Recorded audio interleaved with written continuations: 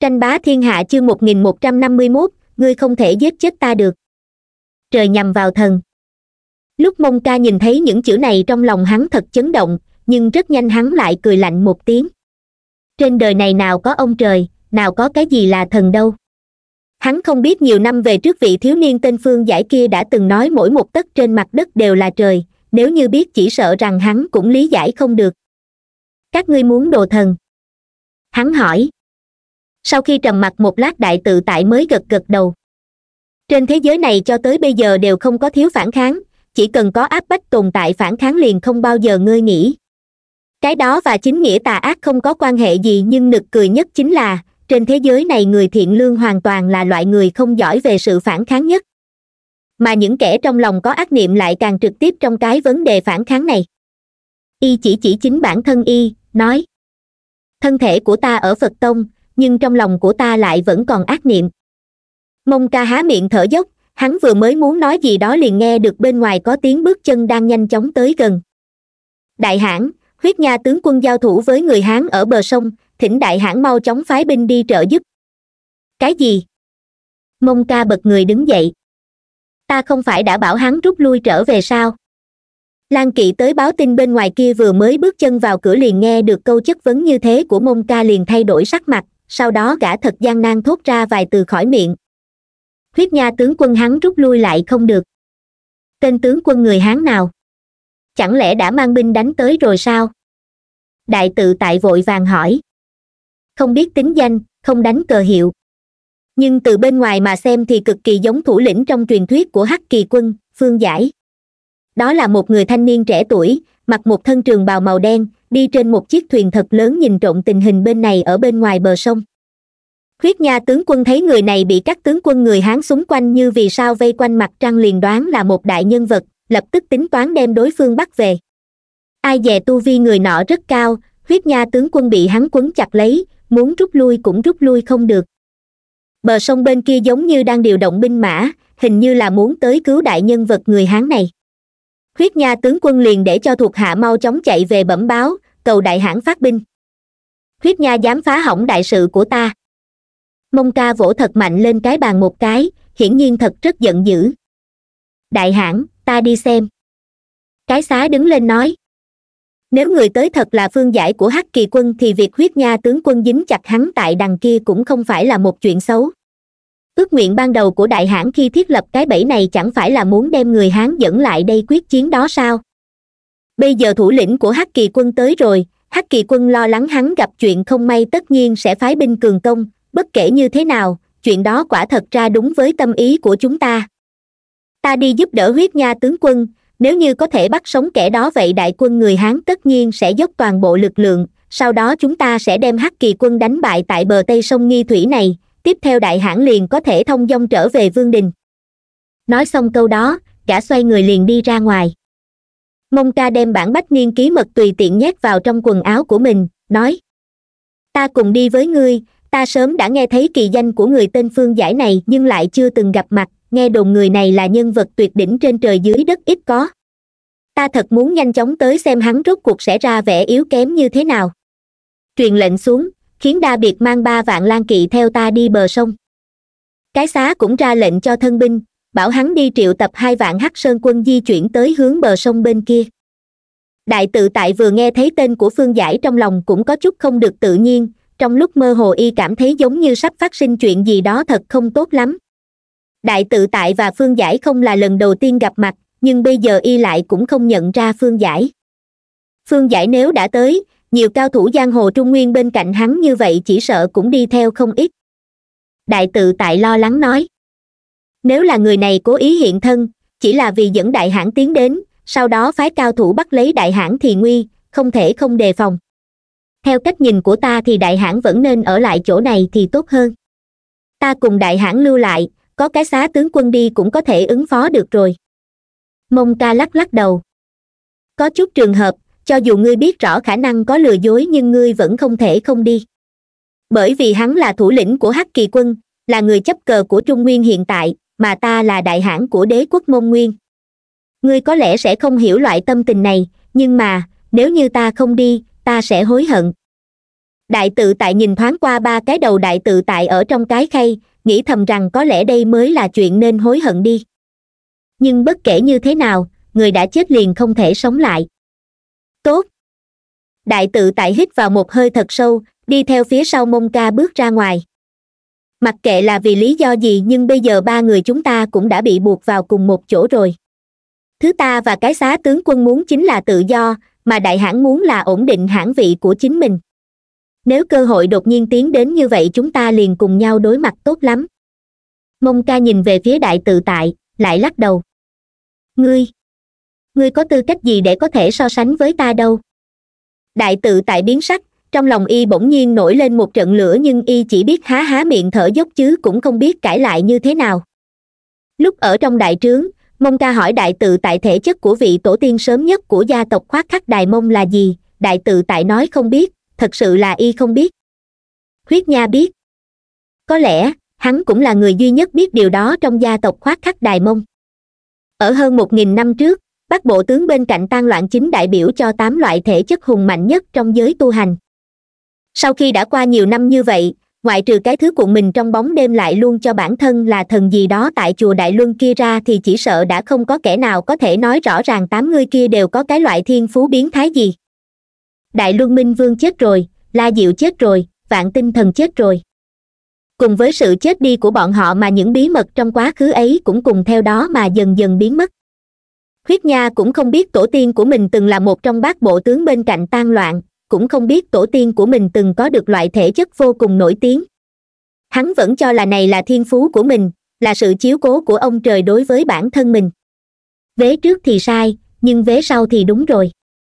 Nếu không được ông trời chiếu cố thì làm sao loại thể chất kia lại có thể xuất hiện tại trên người của hắn sau một ngàn năm cơ chứ?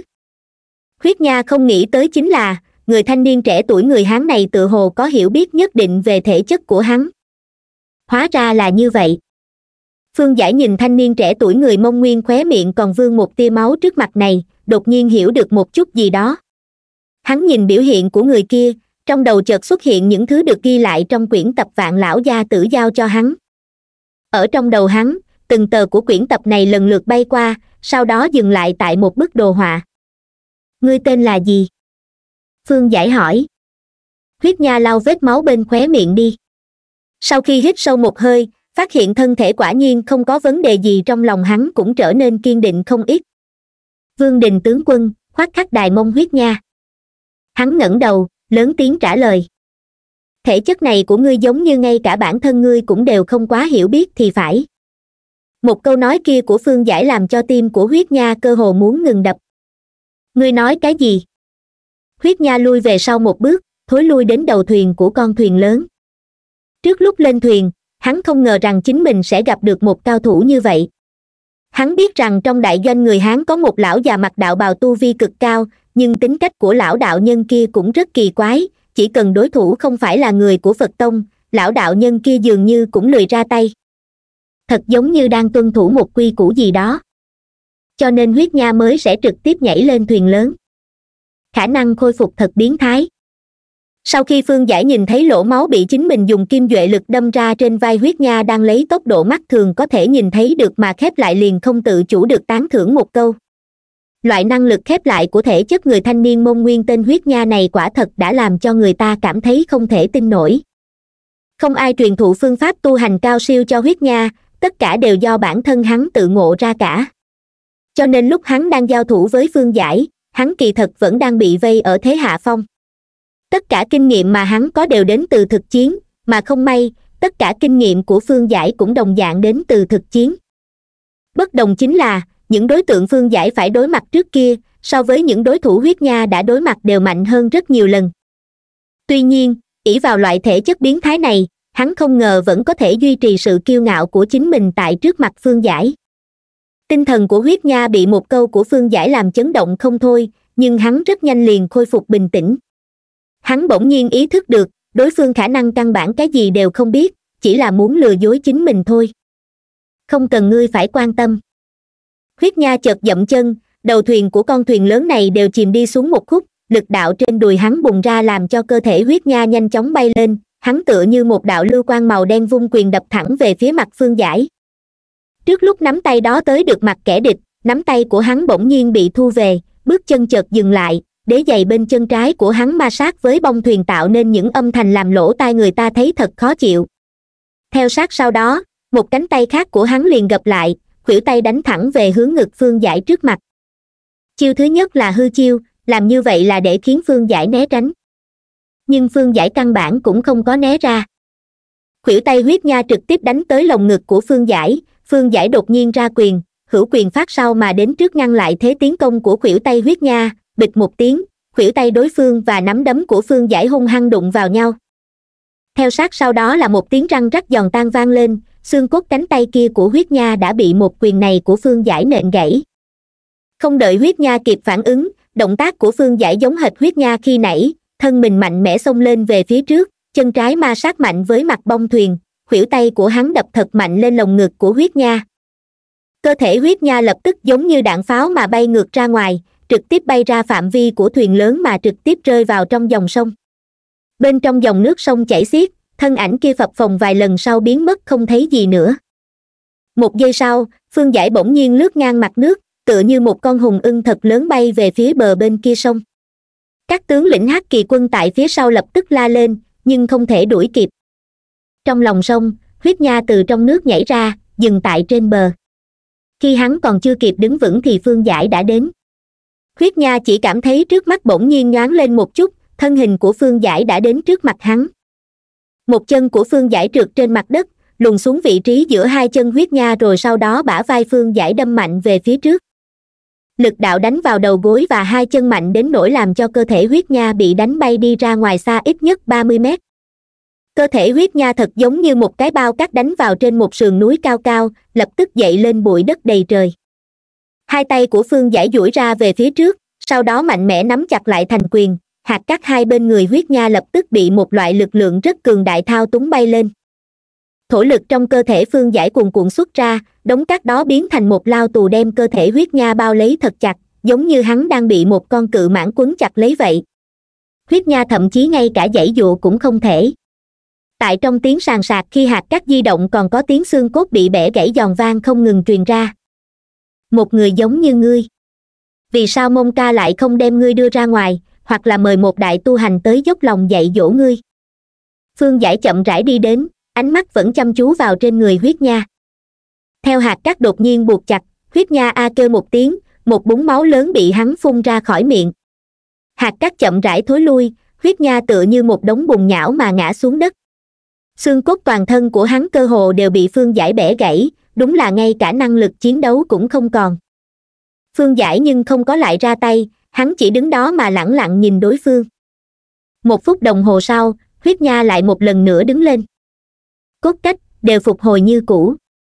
Trong ánh mắt của phương giải có ánh sáng chợt lóe qua, bản tập vẽ các loại thể chất trong đầu của hắn cũng lập tức liền trở nên sinh động. Không có ai biết mục đích của vạn lão gia tử khi lão đưa tập bản vẽ kia cho phương giải là cái gì càng không có ai biết khi đó vạn lão gia tử lại có tâm tình như thế nào. Lão nhìn thấy thể chất của phương giải, giúp phương giải thanh trừ cổ độc trong cơ thể mình. Lúc làm những việc ấy, trong lòng vạn lão gia tử có một loại kích động đã thật lâu không có.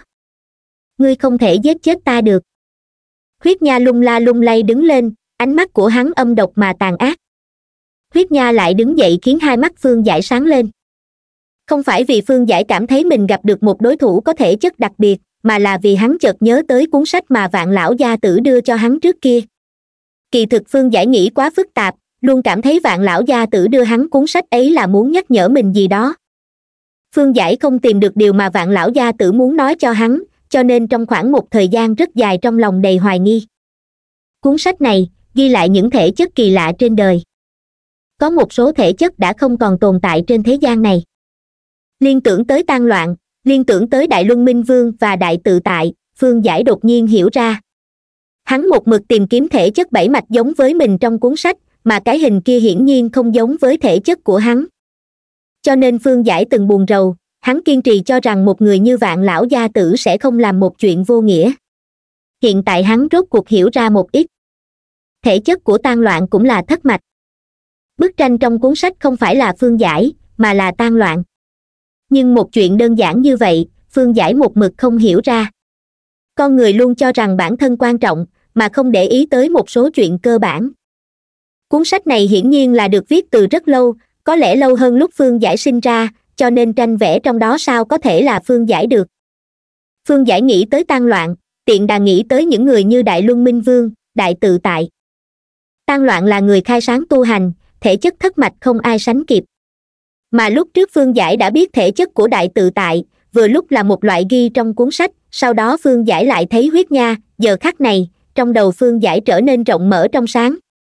Cuốn sách kia, căn bản là ghi lại thể chất của những người tu hành từng là thuộc hạ của tan loạn lúc đầu. Phương giải biết trước kia đại luân minh vương và tổ tiên của gia tộc khoác khắc đài mông từng là thủ hạ của tan loạn. Việc này là tan tác Tác nói cho hắn biết. Khi nghe lại những truyền thuyết này hắn chỉ có cảm giác sùng kính, chứ chưa từng lý giải sâu hơn. Bác bộ tướng của tan loạn. Phương giải nghĩ tới bọn họ.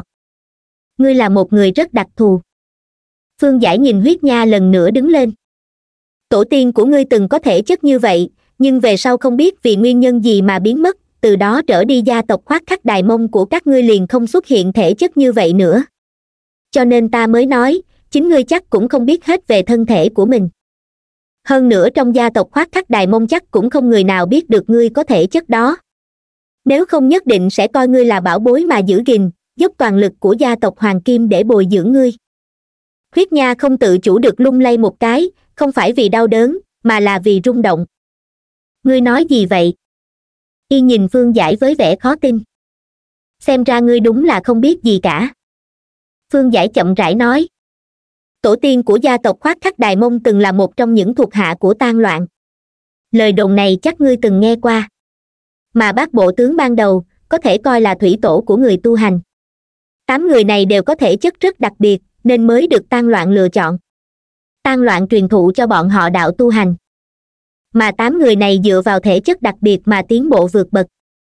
Đáng tiếc, trong tám người thì có vài người chết trong chiến loạn, thể chất lập tức biến mất mà tổ tiên của ngươi dù không chết và thành lập nên đế quốc mông nguyên hùng mạnh, nhưng thể chất lại biến mất. Ta từng điều tra, hơn nghìn năm qua, gia tộc khoác khắc đài mông của các ngươi chưa từng xuất hiện lại thể chất đó. Mà ngươi là người đầu tiên. Ta. Ánh mắt của huyết nha không ngừng lóe lên, hai tay run rẩy. Vẫn cho rằng mình đặc biệt, hóa ra từ rất lâu trước, tổ tiên của ta đã đặc biệt như vậy. Ta không giết ngươi ngươi đi đi phương giải khoát tay nói. Thể chất của ngươi còn chưa hoàn toàn thành thục, nếu giết ngươi bây giờ chẳng khác nào phá hủy một viên ngọc thô quý báu, ngươi cần mài, cần trưởng thành. Ngươi không cần ở lại trong quân đội mông nguyên. Nếu ngươi lại xuất hiện trên chiến trường giết người hán bọn ta ta sẽ giết ngươi. Sở dĩ không giết ngươi là vì nếu ngươi lớn lên trên thảo nguyên sẽ gây ra nhiều sóng gió, sẽ có người muốn giết ngươi, sẽ có người bảo vệ ngươi. Vì chuyện này mà sẽ chết rất nhiều người ta vui vẻ nhìn thấy vậy. Ngươi không giết ta. Huyết nha nhếch môi, vết rách ở khóe miệng cũng chậm rãi khép lại. Lúc ta còn nhỏ, ta đã phát hiện vết thương của mình khép lại vô cùng nhanh. Chờ lúc ta thông minh hơn một chút, ta biết không thể để người khác biết thể chất này của mình. Cho dù là bạn bè tốt nhất cũng không được, bằng không ta sẽ chết rất nhanh. Hiện tại ngay cả bản thân ta đều không giết được ta ta không biết còn ai có thể giết được ta. Ít ngồi đáy giếng phương giải lắc đầu, sau đó nhìn về phía xa xa. Dường như lại tới thêm một người đặc biệt. Người đặc biệt này, tên là cái xá. Lúc cái xá nhìn thấy phương giải, y không hề giật mình. Dường như trong nhận thức của y, phương giải nên là người như vậy. Thời gian qua y đã nghe quá nhiều chuyện về phương giải mà ngay cả một người tâm cao khí ngạo như y cũng không thể không thừa nhận phương giải là một người kiệt xuất, là một nhân tài hiếm có. Ta tên là cái xá y chắp tay, chào hỏi phương giải theo nghi thức của người hán. Cái xá tướng quân, nghe danh đã lâu. Phương giải chắp tay đáp lễ. Cái xá nghiêng đầu nhìn huyết nha quần áo đã rách tươm nhưng trên người không có vết thương nào. Bộ dáng bây giờ của huyết nha khiến cho y rất nghi hoặc. Nhìn quần áo như vậy, huyết nha nên là một người chết rồi mới đúng. Ngươi còn có thể đánh không? Y hỏi huyết nha. Huyết nha gật đầu. Có thể cái xá gật đầu, sau đó hướng phương giải chắp tay nói. Ta luôn cho rằng nam nhân giải quyết vấn đề nên dựa vào bản thân. Sự hấp dẫn của nam nhân cũng tới từ thực lực của mình. Nhưng hôm nay, ta không thể không liên thủ với huyết nha tướng quân, bởi vì ta không nắm chắc chiến thắng ngươi. Đây là một trận chiến bất ngờ. Ta chưa từng nghĩ tới sẽ có một ngày mặt đối mặt với người đứng đầu hắc kỳ quân, sau đó giao chiến. Nhưng với tình cảnh này, ta lại không thể không ra tay hiện tại nếu bắt được ngươi, thì bọn ta có thể rời đi an toàn. Vì sao lúc trước ngươi lại muốn tới? Phương giải nhìn về phía cái xá. Chớ nói với ta mấy lời nói nhảm. Nếu ngươi thành thật ở lại thì đâu có cục diện tiến thoái lưỡng nan như bây giờ. Ngươi đánh tới chỗ ta rồi nói là bất đắc dĩ. Nếu nói ta bị bức, thì cũng là con mẹ ngươi bức ta. Hắn chửi tục một câu. Sắc mặt của cái xá hơi thay đổi y thật không ngờ một người như phương giải lại nói lời thô lỗ như vậy. Dường như vương gia đã quên, đây là chiến tranh. Y nói. Phương giải gật đầu. Ngươi đã nhớ đây là chiến tranh, vậy thì nói nhiều như vậy làm gì? Cái xá nhìn về phía sau phương giải, phát hiện lão đạo sĩ mà mình không đánh lại được kia không xuất hiện, trong lòng yên tâm hơn. Y nhìn huyết nha, nói. Kỵ binh cần ít nhất một khắc nữa mới tới mà ta cần ngươi cản thủ hạ của phương giải lại. Chỉ cần kiên trì một khắc là đủ rồi. Không phải ngươi nói liên thủ với ta sao? Huyết nha kinh ngạc hỏi. Cái xá đáp.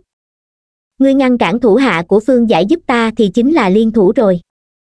Nói xong, y nhướng mày đi về phía trước một bước. Lĩnh giáo tuyệt học của phương tướng quân. Đao.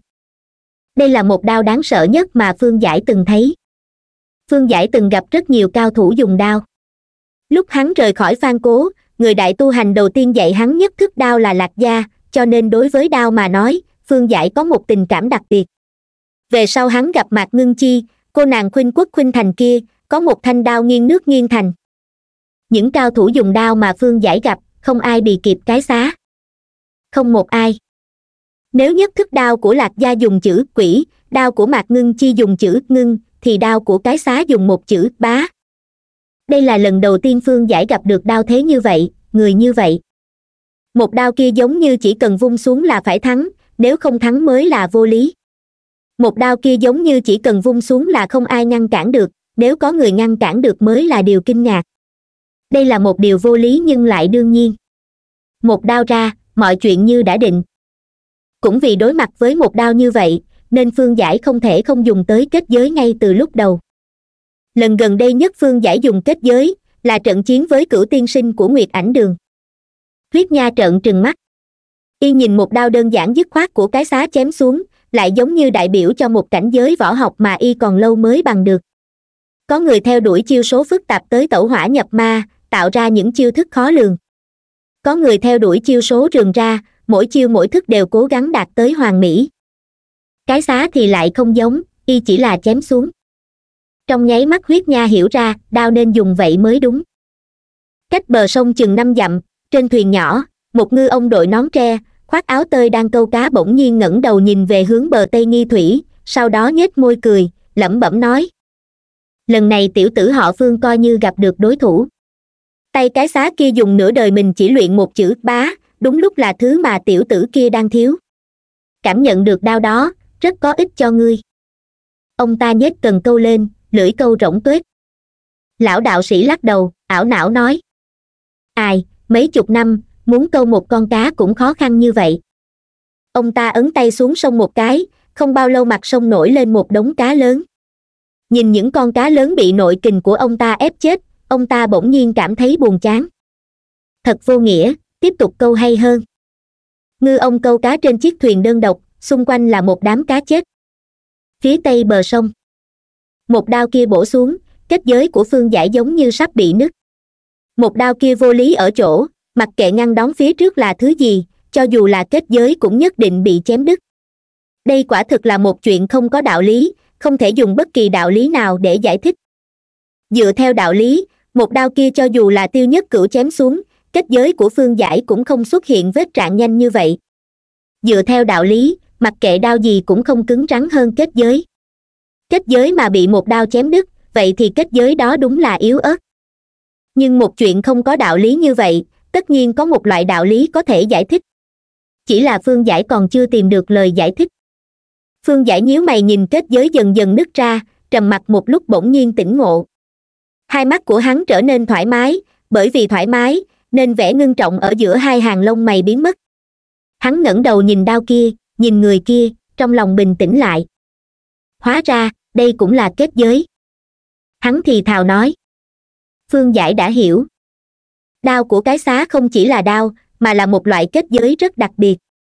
Phương giải đã từng thấy vài loại kết giới, chẳng hạn như kim cương giới của la diệu, chẳng hạn như kết giới như mực của thất tiên sinh, chẳng hạn như hắc ám chi giới của cửu tiên sinh. Nhưng không thể phủ nhận rằng, những kết giới kia khác với kết giới của cái xá bao gồm cả kết giới của hắn. Các kết giới mà phương giải từng thấy đều có một tính chất đặc biệt là khống chế. Kết giới do người tạo ra chính là thế giới riêng của bọn họ. Trong thế giới này, người thi triển có thể phát huy lực lượng của mình tới cực hạn.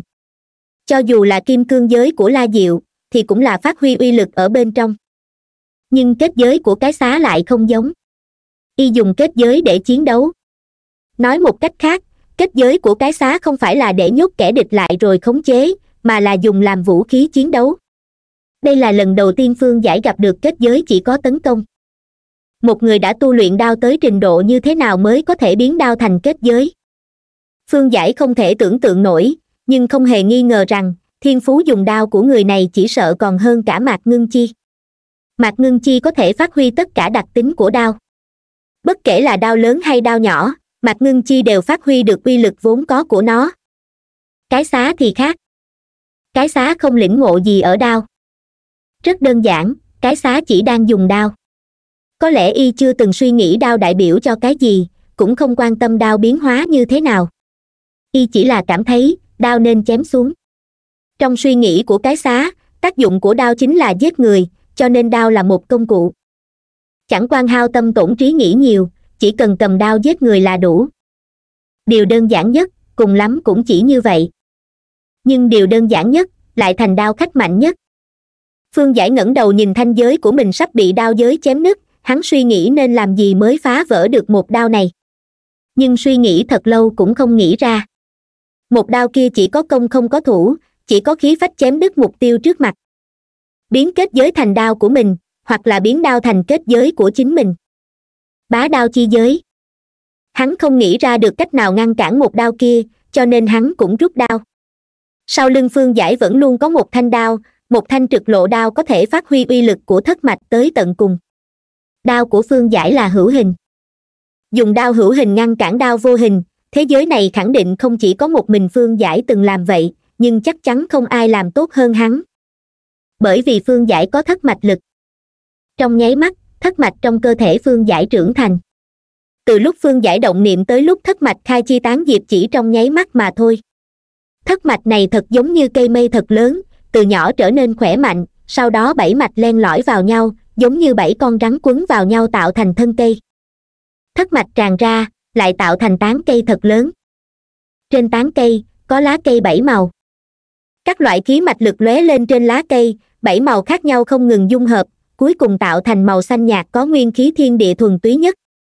Tất cả người tu hành đều biết rằng màu xanh nhạt này đại biểu cho cái gì, đó là màu sắc mà nguyên khí tinh khiết nhất mới có. Cái cây màu xanh này thành hình trong cơ thể phương giải trong nháy mắt. Nguyên khí thiên địa tinh thuần len lỏi trong cơ thể khiến thể chất của hắn thay đổi, đường cong trên cơ thể hắn càng thêm rõ ràng. Sau đó, phương giải rút trực lộ đao ra. Sau đó, hắn thu hồi kết giới của mình thanh giới hóa thành vô số dòng khí màu xanh, dung nhập vào trong trực lộ đao của phương giải. Dòng khí như rồng, rót vào trong đao. Khoảnh khắc phương giải thu hồi kết giới, hai mắt cái xá sáng lên. Nói thật, lúc y thấy một đao của mình bị kết giới của phương giải ngăn cản, y giật mình không kém gì phương giải. Từ lúc y luyện thành bá đao, phương giải là người đầu tiên ngăn cản được đao của y. Lúc mới tới nghi thủy, y từng muốn rút đao, nhưng không dám lão đạo sĩ mặc đạo bào cũ nát đứng ở đằng kia, nên y không rút được đao ra. Y biết dù mình dùng toàn lực cũng không phải là đối thủ của lão đạo sĩ. Lão đạo sĩ kia đã đứng ở một độ cao mà y chưa với tới được. Độ cao này dù chỉ kém một tia, nhưng cũng là cách xa một vạn tám nghìn dặm. Y không dám vung đao với lão đạo sĩ, nhưng dám với phương giải. Y đã rất coi trọng phương giải rồi. Dù sao phương giải có thanh danh hiển hách như vậy nếu không có bản lĩnh gì thì đã không được như ngày hôm nay. Nhưng dù vậy lúc giao chiến, y mới phát hiện mình vẫn đánh giá thấp đối thủ. Đại thảo nguyên tây vực từng là nơi bắt đầu của người tu hành, từng xuất hiện vô số người đại tu hành. Tan loạn khai sáng ra tu hành, bác bộ tướng bên cạnh ông ta có người nào không phải là nhân vật tuyệt đỉnh? Nhưng hiện tại không thể không nói, số lượng cao thủ tu hành ở thảo nguyên đã kém xa trung nguyên. Cái xá rất rõ ràng điều này có liên quan tới địa vị bá chủ của phật tông. Phương giải tạo ra được kết giới đã khiến cái xá giật mình. Lúc phương giải thu hồi kết giới, cái xá kinh ngạc tới tột đỉnh. Điều này không hợp với lẽ thường. Sau đó, cái xá thấy được đao của phương giải. Bá đao vô hình và trực lộ đao của phương giải đụng vào nhau, trận chiến đâu chỉ dừng ở đao. Kỳ thực đấu chính là kết giới của hai người. Kết giới của cái xá không có phòng ngự gì là một kiểu tấn công thuần túy. Hóa kết giới thành đao hay là hóa đao thành kết giới, thì kiểu kết giới này đều là cực đoan. Ầm. Đây không phải là tiếng trong trẻo của hai thanh đao chạm vào nhau, mà giống như hai ngọn núi băng va chạm vào nhau trên đại dương bao la. Trung chuyển kịch liệt, không thể diễn tả bằng ngôn ngữ. Ở trung tâm va chạm, một cơn lốc bốc lên. Thô bạo, không thể ngăn cản. Huyết nha nhìn hai người giao chiến vô thức dừng bước lại. Đối với y mà nói, trận chiến ở cấp bậc như cái xá và phương giải là một cánh cửa, khiến y nhìn thấy độ cao mà y chưa chạm tới kia. Cho nên y đâu còn tâm tư khác, chỉ tập trung nhìn một kích toàn lực của hai người. Hai mắt huyết nha đầy tham lam, giống như hố đen hấp thu tất cả. Cho dù y chỉ hiểu được một chút xíu trong đó, nhưng cũng là trợ giúp cực lớn trên con đường tu hành về sau của y, chưa từng có người nào chỉ điểm y tu hành mà trận chiến hôm nay giữa phương giải và cái xá, chính là thầy của y. A. Đang tập trung nhìn hai đao chạm vào nhau, huyết nha bỗng nhiên phát ra một tiếng kêu đau đớn, sau đó bịt hai mắt lại ngồi xuống. Cảnh giới của y còn chưa thể tiếp nhận được những thứ kia, khiến mắt của y như bị mù, toàn bộ thế giới trở nên tối đen. Có máu chảy ra từ khóe mắt của y. Y mới ngồi xuống thì luồng sóng tạo ra từ vụ va chạm giữa bá đao chi giới và thanh giới đã đẩy y bay ra ngoài. Tu vi của huyết nha không tính là thấp, nhưng ở trước mặt uy thế này, y thật giống như lá bèo trên biển rộng, làm sao đỡ nổi sóng cuồng. Y không tự chủ được bay ra ngoài, sau đó đập mạnh vào vách núi. Không biết bao nhiêu đá vụn chui vào da thịt của y y căn bản là không thể chịu được áp lực này. Sau khi rơi xuống đất, huyết nha lại bị đẩy hơn mười mét mới dừng lại, cả người mất đi khí lực trên người y lỗ chỗ vết thương, nếu như không dùng hai tay che mặt lại, chỉ sợ khuôn mặt của y cũng đã bị đao khí cắt nát rồi. Quần áo trên người y rách tương, để lộ cơ thể đầy máu. Nếu không phải y có thể chất đặc biệt, thì đã chết từ lâu rồi. Cơn lốc qua đi, thuộc hạ hắc kỳ quân vừa mới chạy tới lại không thể tới gần, người và ngựa đều bị cơn lốc bứt lui, cắt bay tung trời, không mở được mắt. Mà phía sau cái xá lan kỳ chạy tới cũng bị cơn lốc đẩy ngã xuống ngựa, sau khi ngã xuống lại bị đẩy bay ra ngoài. Chiến mã đằng sau hí lên không kịp tránh đi, không biết mấy người bị ngựa dẫm chết. Đại tự tại đẩy hai tay về phía trước rồi vẽ một vòng tròn, bảo vệ y và mông ca. Nhìn thấy uy thế của trận chiến, đại tự tại tất nhiên dùng toàn lực. Y thật không ngờ cái xá và phương giải giao chiến lại khiến cho nguyên khí thiên địa dao động kịch liệt như vậy. Y biết tu vi cái xá như thế nào bởi vì ba đại tự tại kia căn bản không phải là bị y giết. Chỉ là y không ngờ tới, tu vi của phương giải lại cao tới mức này. Ba đại tự tại kia, không ai đỡ nổi bá đao của cái xá, ở trước mặt cái xá, y cũng cảm thấy mình chỉ là một đứa trẻ nhỏ. Hiện giờ y không thể không coi trọng phương giải hơn. Soạt một tiếng. Cho dù được đại tự tại bảo vệ thì áo bào của mông ca vẫn bị đao khí xé rách. Quần áo bị cắt thành vô số lỗ hổng lộ ra áo giáp mỏng màu vàng bên trong. Nếu không phải y có áo giáp này bảo vệ, thì chỉ sợ trên người y đã dính mấy đao rồi. Sắc mặt của đại tự tại biến ảo không ngừng, tập trung toàn bộ nội kình lại mới miễn cưỡng không bị uy lực từ hai người kia đẩy xuống ngựa. Nhưng hộ vệ bên canh không có thực lực đó. Sau một lát, mười mấy lan kỵ vương đình bị đao khí cắt thành thịt nát. Máu thịt bay tán loạn. Chiến mã cũng hí lên rồi gục xuống, không thể đứng lên được nữa chiến kỳ màu vàng theo đầu sói bị chém đứt, lá cờ cắt thành mảnh nhỏ. Cái xá lui về phía sau một bước, vẻ mặt đầy khó tin. Nửa đời của ta chỉ tu một đao này, mất ba mươi ba năm mới luyện thành bá đao. Cũng không biết giết bao nhiêu người mới nuôi dưỡng được khí phách của đao này, hôm nay khí phách đó lại bị một đao của ngươi ngăn cản, thế giới này quả nhiên không có công bằng. ba mươi ba năm khổ tu của ta, lại không bằng một thoáng suy nghĩ của ngươi. Y nhìn phương giải khóe miệng run rẩy. Phốt. Cuối cùng vẫn không nhịn được, y phun ra một bụng máu. Phương giải bước tới một bước, một tay cầm trực lộ đao, một tay tùy ý chấp đằng sau. Ba mươi ba dài đằng đẳng của ngươi là khí phách, một ý niệm của ta cũng là khí phách. Ngươi mất ba mươi ba năm biến đao thành kết giới, ta mất một ý niệm biến kết giới thành đao, ta và ngươi đều dốc toàn lực, có gì mà không công bằng. Chẳng lẽ chỉ mình ngươi tạo ra được khí phách, còn người khác thì không làm được? Không ai chú ý tới, bàn tay đặt sau lưng của phương giải có máu chảy xuống. Một đao của cái xá, quá mạnh mẽ. Thôi. Cái xá nhìn về phía phương giải. Ngươi nói cũng có lý. Ta và ngươi đều tập trung vào một đao. Nếu đều là tập trung, vậy thì thắng bại liền không còn quan trọng. Ngươi chưa bại, ta chưa thắng, lại tới lần nữa. Phương giải bước thêm một bước. Cái xá vô thức lùi lại trầm mặc một lúc lâu rồi lắc đầu. Ta không thể tung ra một đao như vậy nữa vào hôm nay, cho nên không thể tái chiến. Nói xong câu đó, y xoay người chạy đi. Đúng vậy, là chạy trốn. Phương giải nhìn sang mông ca và đại tự tại.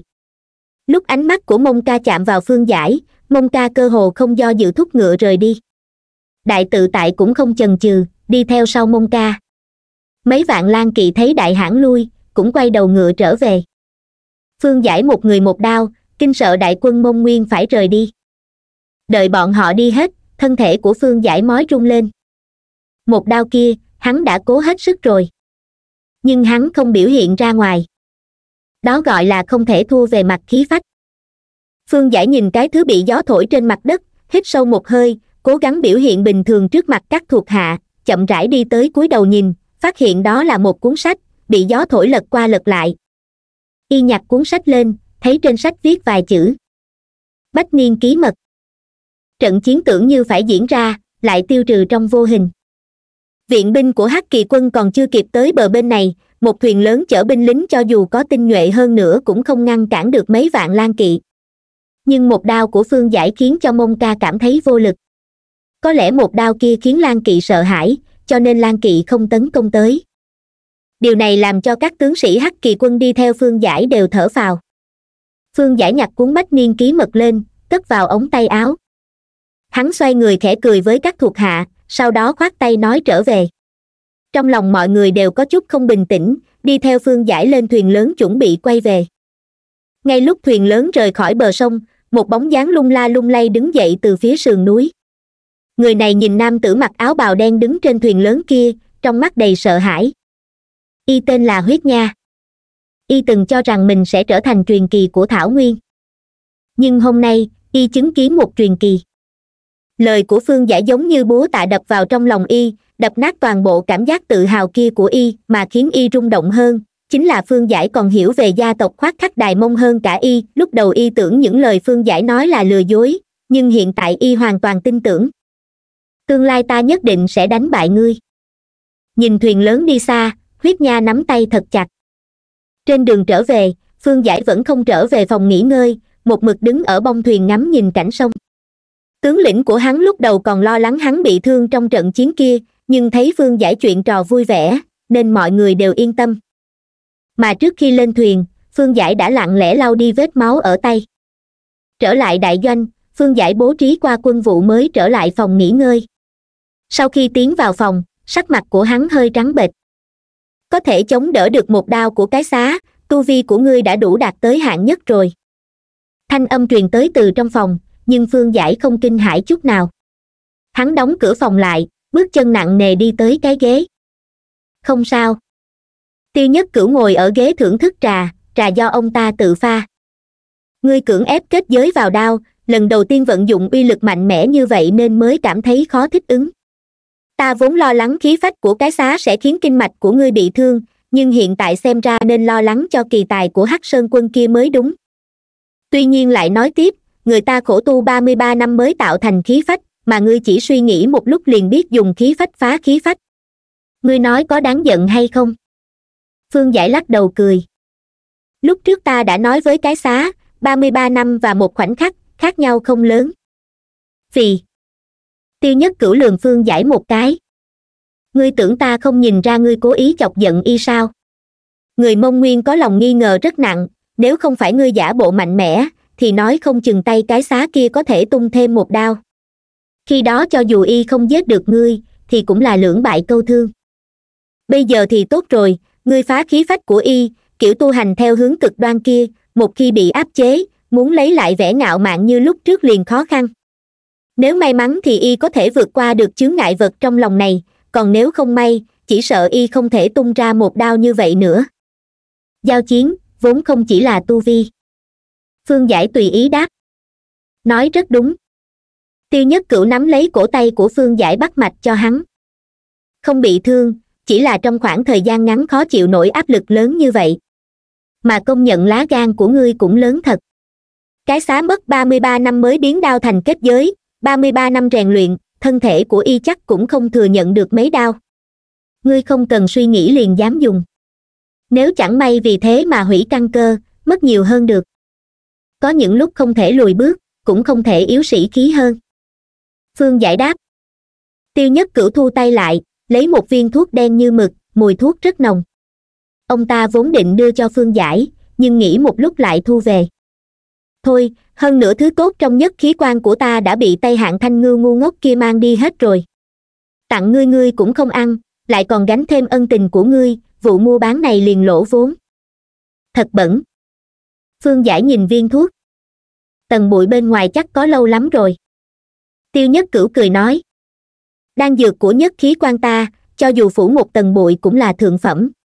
Nếu ngươi lấy viên thuốc này cho một thương nhân hiểu giá trị của nó thì mỗi ngày liếm tầng bụi y cũng cảm thấy mãn nguyện rồi. Ông ta nhìn phương giải. Vì sao ngươi không hỏi ta, sao không ra tay? Phương giải trầm mặt một lúc rồi hỏi lại. Vì sao ta lại muốn lão ra tay? Tiêu nhất cửu sững sờ, gật đầu nói. Cũng đúng, trông cậy vào người khác còn không bằng tự mình làm. Ông ta cất lại viên thuốc vào ống tay áo. Ta tới là muốn hỏi ngươi một việc, ngươi mở đại hội võ lâm ở trường an vị sư đệ không nên thân kia của ta liệu có giữ được danh hiệu đạo tôn không? Tuy đạo tâm của hắn đã khai ngộ, nhưng về mặt tu hành hắn lại không chịu khổ luyện. Nếu hắn chịu khó chút, thì đã phá được tầng cửa sổ kia rồi. Nếu trương dịch dương ra tay, liệu ai có thể giành được danh hiệu đạo tôn? Phương giải hỏi ngược lại. Trương dịch dương đang nghe truyện trên tv audio cv sẽ không ra tay. Tiêu nhất cửu khẳng định nói. Ông ta còn phải trông coi núi võ đan bảo ông ta lộ diện tranh đoạt đạo tôn, tranh đoạt minh chủ võ lâm, thì chẳng khác nào đặt ông ta ở đầu sóng ngọn gió. Lão hồ ly kia không khéo hơn bất kỳ ai. Nói xong câu này, ông ta bỗng nhiên lại hỏi. Nhặt được bảo bối gì à? Cực bắc. Thập vạn đại sơn. Tuyết trắng xóa cả vùng đất, ngoài một màu trắng ra không nhìn thấy một màu gì khác. Ánh mặt trời chiếu vào tuyết, phản ra ánh sáng khiến mắt đau nhức một con tuyết ưng quanh quẩn trên bầu trời, dường như là phát hiện ra cái gì đó rồi lao xuống. Nhưng nó thất vọng phát hiện, mình nhìn lầm. Trên mặt tuyết không có vật gì di chuyển cả.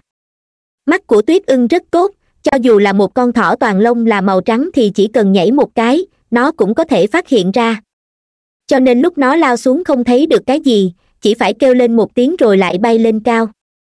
Tuyết ưng bay quanh bầu trời một lát mới bay về hướng nam xa xa ngay lúc tuyết ưng bay đi không lâu, một mảng tuyết nổi lên, sau đó có người ngẩng đầu nhìn lên trời, đẩy đẩy người bên cạnh.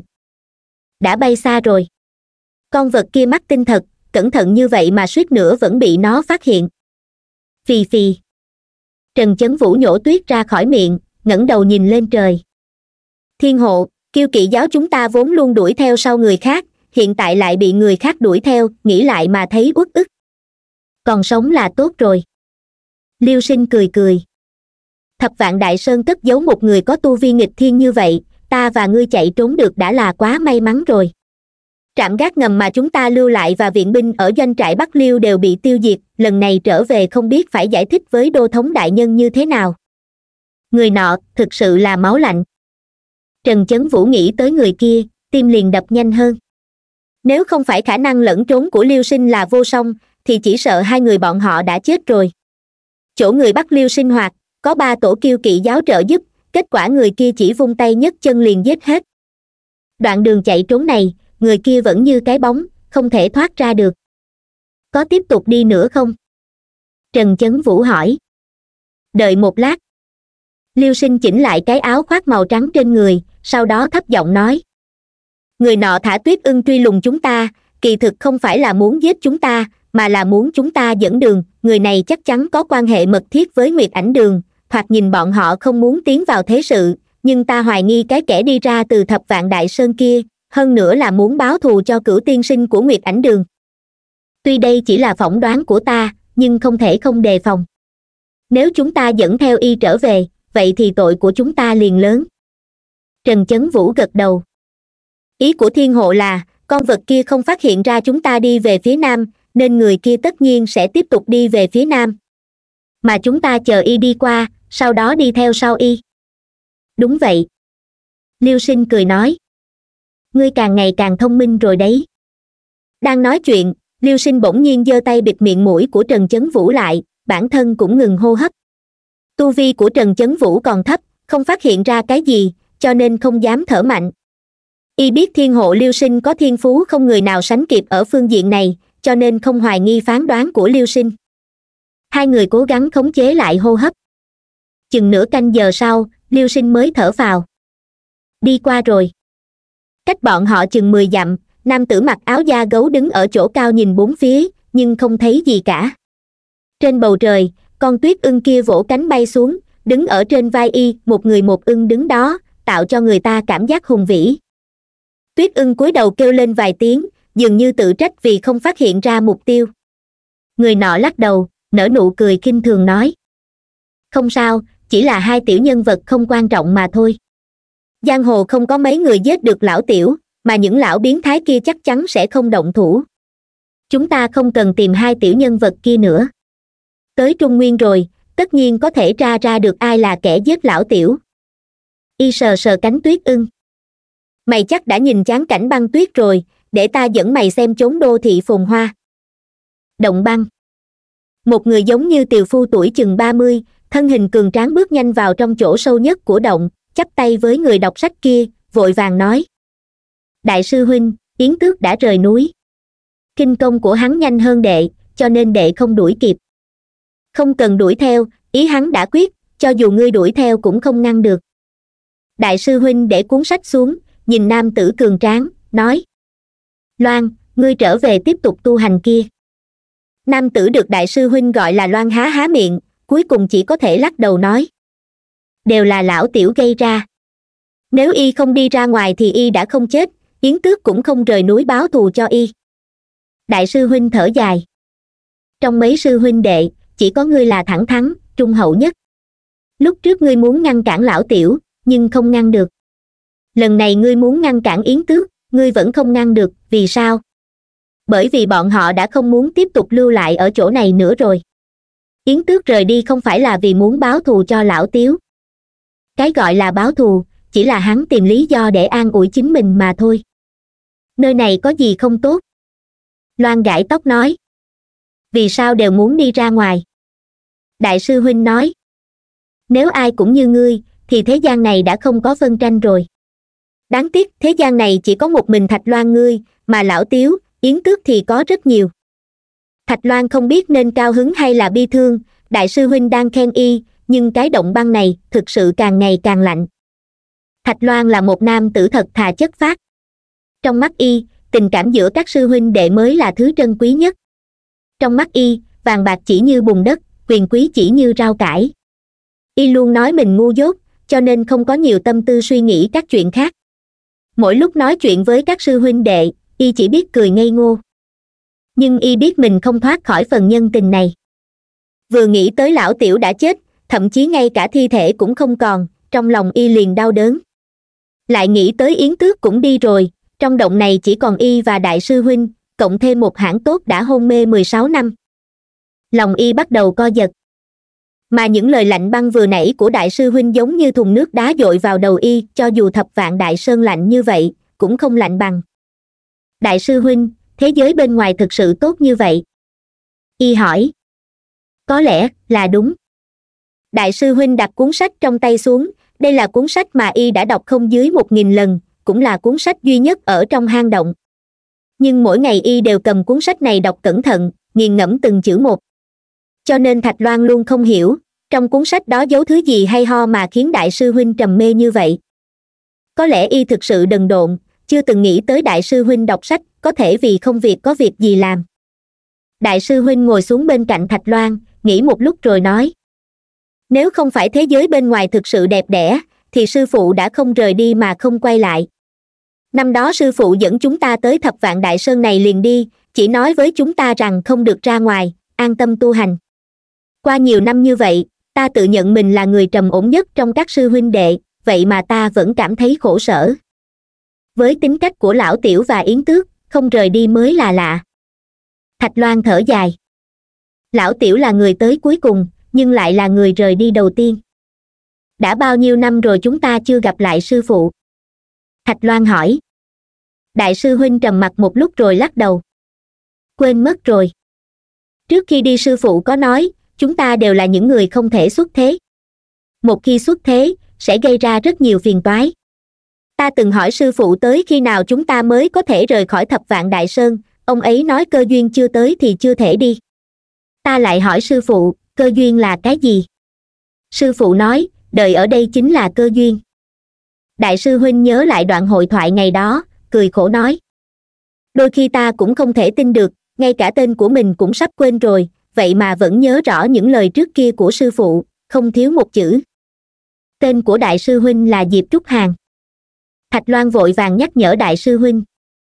Đại sư huynh bị vẻ khờ khạo của thạch loan làm cho buồn cười, nụ cười không có tạp chất nào. Vị sư đệ này luôn đơn thuần như vậy. Có đôi khi y cảm thấy, người có tính cách như thạch loan mới nhiều niềm vui hơn, bởi vì thạch loan dễ thỏa mãn. Nhưng về sau y mới hiểu càng là người như thạch loan thì càng dễ đau khổ. Bởi vì thạch loan quá coi trọng tình cảm. Một người nếu đặt tình cảm ở vị trí đầu, vậy thì sẽ càng dễ khó chịu hơn những người khác. Đại sư huynh huynh có biết vì sao sư phụ bảo chúng ta lánh đời không? Sư phụ nói phiền toái, rốt cuộc phiền toái gì? Không biết. Đại sư huynh lắc đầu. Ta nghi ngờ ngay cả sư phụ cũng không biết. Những lúc nhớ lại vẻ mặt và ánh mắt khi nói chuyện của sư phụ ta càng cảm thấy ông ấy mang chúng ta tới đây không phải là ý của ông ấy. Thậm chí, truyền thụ chúng ta tu hành cũng không phải là bản ý của ông ấy. Có lẽ, chắc ông ấy cũng chỉ là nhận ủy thác từ người khác.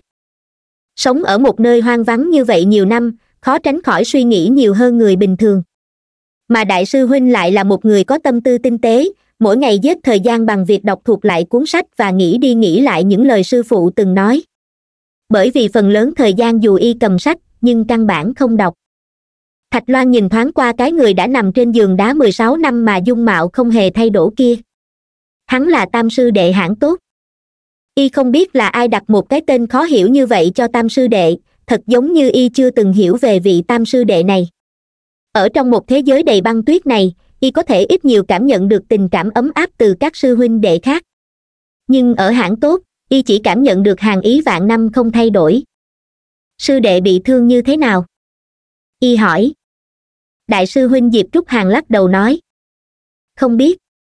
Năm đó sư phụ đưa hắn tới đây thì hắn đã hôn mê rồi. Ta hỏi sư phụ hắn là ai, sư phụ nói hắn là sư đệ của con. Ta hỏi sư phụ vì sao bị thương, sư phụ đáp là gieo gió gặt bão. Về sau động này chỉ còn ba chúng ta thôi sao?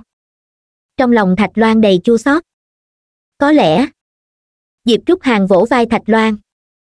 Lão tiểu và yến tước vốn không thuộc về nơi này. Hai người bọn họ khác với ba người chúng ta. Khác chỗ nào? Diệp trúc hàng nhớ tới những lời sư phụ nói năm đó, há há miệng lại không nói ra. Bởi vì y biết những lời này có thể khiến trong lòng thạch loan khó chịu. Kỳ thực, năm đó yến tước thiêu hủy nhất phẩm sơn trang, ta liền biết tâm của y không ở đây rồi. Về phần lão tiểu tâm của y vốn chưa từng ở đây. Y dời đề tài, không nói gì nữa. Nhưng nếu những lời này lan tới giang hồ, nhất định sẽ gây ra sóng to gió lớn. Là một trong những tông môn rất nổi tiếng của giang hồ, nhất phẩm sơn trang của thập vạn đại sơn là một tông môn thần bí ít khi lộ diện bên ngoài. Nhất phẩm sơn trang cũng rất ít khi đặt chân lên trung nguyên, nhưng tu vi của mỗi đệ tử nơi đó đều khiến người ta kinh ngạc. Danh tiếng của nhất phẩm sơn trang còn hơn cả mặt khê uyển của nam yến bồng lai cát của đông sở. Mà một tông môn khổng lồ và thần bí như vậy, lại bị một người tên là yến tước đồ sát. Tay y nhiễm máu, cho nên khó mà sống ẩn giật được. Diệp trúc hàng đứng dậy, đi tới giường của hãng tốt xoa bóp cho y. Một khi trong lòng có tạp chất, thì người khác không khuyên được. Thành trường an. Diễn võ viện. Trong đình đá phía trước tàn thư lâu, trên bàn có đặt một bầu rượu, một đĩa lạc ngâm giấm, một đĩa rau thơm một đĩa đậu rán hành, một đĩa thịt lừa. Mùi rượu nóng thơm nhẹ nhẹ, chỉ ngửi liền biết rượu này cũng đã được ủ ít nhất mười năm rồi. Đại hội võ lâm náo nhiệt như vậy, ngươi là viện trưởng diễn võ viện, vì sao không đi? Đầu bếp cúi đầu ngửi mùi rượu. Rượu này chắc là ngươi lấy từ tàn thư lâu phải không? Tuy về sau lão gia tử rất ít khi uống rượu, nhưng ủ không ít. Vì sao không phải là rượu của ta ủ chu bán xuyên hỏi đầu bếp lắc đầu nói. Trên người của ngươi mang hương vị thế tục. Năm đó ngươi còn là viện trưởng diễn võ viện, rượu mà những người đó tặng cho ngươi cũng mang hương vị thế tục. Rượu của lão gia tử thì không giống, chỉ có mùi rượu, không có mùi gì khác. Chu bán xuyên không tức giận, chỉ thở dài nói. Rốt cuộc ngươi đã trộn bao nhiêu rượu của ta rồi? Đầu bếp cười, chỉ vào đống thức ăn trên bàn. Ngươi nói mời ta uống rượu, lại bảo ta chuẩn bị đồ ăn hiện tại rượu này không phải của ngươi ngươi nói xem ngươi có khôn không? Nếu không phải nơi này đã không còn người nào uống rượu với ta, thì ta mời ngươi làm gì? Chu bán xuyên hừ lạnh. Đầu bếp cười ha hả. Kỳ thực ngươi làm sao giấu giếm được ta? Tuy nửa đời người của ta không chạm vào hai chữ thế tục, nhưng ta không ngốc. Lần trước sau khi nói chuyện với ngươi, trong lòng ngươi khẳng định ngứa ngáy. Bởi vì ta nói trong viện này giấu rất nhiều bí mật, ta có lão gia tử cũng có. Ngươi mời ta uống rượu, chính là vì muốn biết những bí mật kia. Bảo vệ bí mật đến chết, không thấy đáng tiếc sao? Chu bán xuyên hỏi. Đầu bếp cười nói. Ta đã chết đâu, tuy nhiên, lão gia tử chết rồi, thiên hạ thay đổi, có lẽ những bí mật kia đã tới thời điểm phơi ra ngoài ánh sáng. Rượu này là của lão gia tử, bản thân lão gia tử mới là bầu rượu được ủ nhiều năm nhất, trong rượu kia cất giấu bao nhiêu hương vị không ai biết được. Lão gia tử đã sống bao lâu rồi? Chu bán xuyên hỏi. Đầu bếp lắc đầu. Hỏi những cái mà ta biết ấy. Chu bán xuyên ngẫm nghĩ một lúc rồi nói. Năm đó ta vừa mới trở thành viện trưởng diễn võ viện, lão gia tử tìm ta nói qua một câu. Ông ấy nói diễn võ viện vốn là một nơi coi trọng hiệu quả và lợi ích, ngươi chỉ cần làm tốt hai chuyện này là được. Lúc đó ta liền nghĩ diễn võ viện sao có thể chỉ coi trọng hiệu quả và lợi ích. Sau khi lão gia tử xây dựng lên diễn võ viện, thế gian liền không còn vạn kiếm đường. Tuy ta biết bên cạnh ông ấy hẳn là còn có một số đệ tử, nhưng những người đó không được chân truyền của ông ấy, không tính là đệ tử đích thực của vạn kiếm đường. Mà tiêu nhất cửu, dương kỳ, la úy nhiên và hạng thanh ngưu, trong bốn người bọn họ, chỉ có hai người miễn cưỡng có thể tính là đệ tử của vạn kiếm đường. Ta muốn biết lão gia tử còn có các đệ tử khác không? Có. Đầu bếp uống một ngụm rượu, gấp một miếng rau thơm bỏ vào miệng. Chẳng qua ta cũng không biết ông ấy có bao nhiêu đệ tử. Năm đó ta từng rời khỏi trường an giúp lão gia tử làm một việc, giấu đi vài châu báu. Ngẫm lại, thoáng cái đã vài chục năm trôi qua, nếu ngươi không nhắc tới, chắc ta đã quên có chuyện này. Châu báu. Chu bán xuyên nhíu mày. Vì sao phải giấu? Đầu bếp nghĩ một lát rồi đáp. Ta không còn nhớ chi tiết những lời lão gia tử nói năm đó. Lão gia tử chỉ nói có một số người không thể tùy tiện lộ diện, nhất định phải đợi cho bọn họ tới thời điểm lộ diện mới được. Ngươi cũng biết tính cách của lão gia tử rồi đấy, nếu ông ấy đã không muốn nói, thì ai mà hỏi ra được?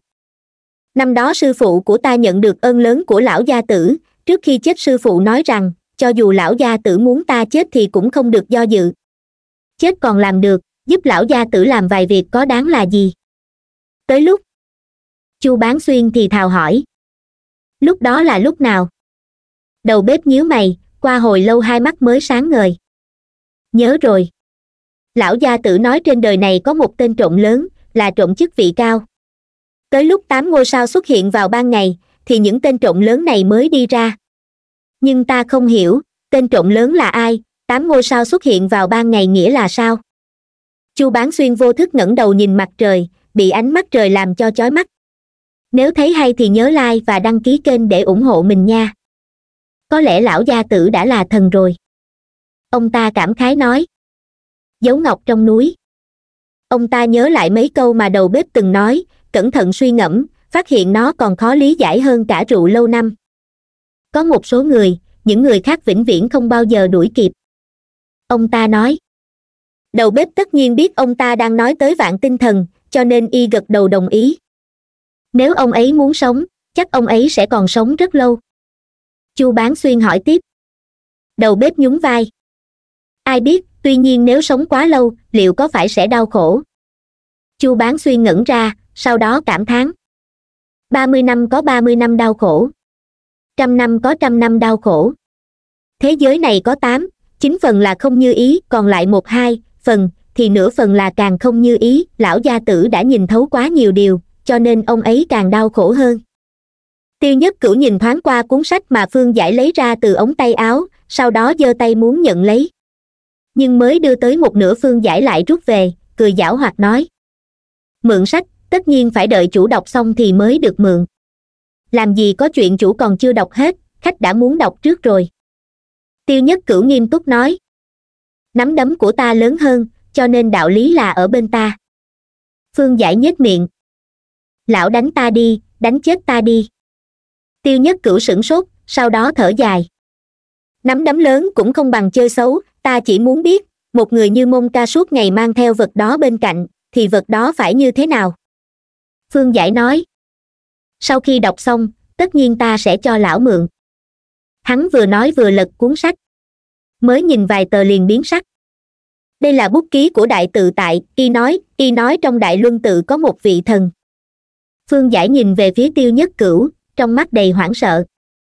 Tiêu nhất cửu cũng hơi sửng sốt, đột nhiên nhớ tới những lời nam tử áo trắng nói với mình và trương dịch dương trước khi đi. Ngày đó trên lương đình của núi võ đan, nam tử áo trắng nói rằng y muốn đi về phía tây. Bởi vì y hoài nghi trên đại tuyết sơn có thứ gì đó, nên muốn chứng thực từ đó về sau không còn gặp lại nam tử áo trắng kia nữa. Tiêu nhất cửu chắc chắn rằng, tu vi của nam tử áo trắng kia đã cực cao cao tới mức mình ngẩng đầu lên cũng không thấy. Một người như vậy, không ngờ lại không thể trở về. Thần. Trong mắt tiêu nhất cửu có chút hoảng sợ, không ít hơn phương giải. Có lẽ chỉ có thần, mới có thể giết được hắn. Ban đêm trong đại doanh rất yên tĩnh. Cho dù có mười vạn hùng binh đóng quân ở đây nhưng do bọn họ đều được huấn luyện bài bản, cho nên không nghe thấy bất kỳ tiếng động ồn ào nào. Thỉnh thoảng có binh lính tuần tra đi qua, tiếng bước chân soàn soạt chỉ có thể quấy nhiễu ánh trăng tàn trên bầu trời. Đang là trăng cuối tháng, cho nên trời vừa tối không lâu, trăng đã bắt đầu lặn về phía tây. Gió thổi không có mục đích, cho nên mọi người mới dùng gió để biểu tượng cho tự do. Đại doanh cách bờ sông không xa, cho nên trong gió còn mang theo mùi nước sông đây là một thôn chài nhỏ từng rất phồn hoa. Nhắc tới cũng kỳ, cho dù là cao khai thái và vương nhất cừ gây loạn như vậy ở phương bắc, thì việc phòng thủ ở kinh kỳ đạo bên này cũng không bị quá nhiều quấy nhiễu. Có lẽ vì vượt qua hệ thống phòng thủ kinh kỳ đạo ở trong núi quá phiền toái, cho nên dân chúng ở nơi này được an bình. Sau khi hắc kỳ quân tới, dân chúng của hai thôn chài nhỏ được đưa đi, mỗi hộ được phát đầy đủ bạc và lương thực, tất cả đều đưa tới linh môn quan sống trong một cái thôn mới do hắc kỳ quân xây dựng ở bờ sông tần hà. Bọn họ đã quen với cuộc sống sông nước, cho nên dù chuyển vị trí cũng không ảnh hưởng quá lớn. Chỗ ở của phương giải là một tòa nhà có ba phòng. Nếu là lúc thái bình, từ cao nhìn xuống dưới chỗ này, thôn xóm nhỏ bên cạnh bờ sông là một phong cảnh tuyệt vời.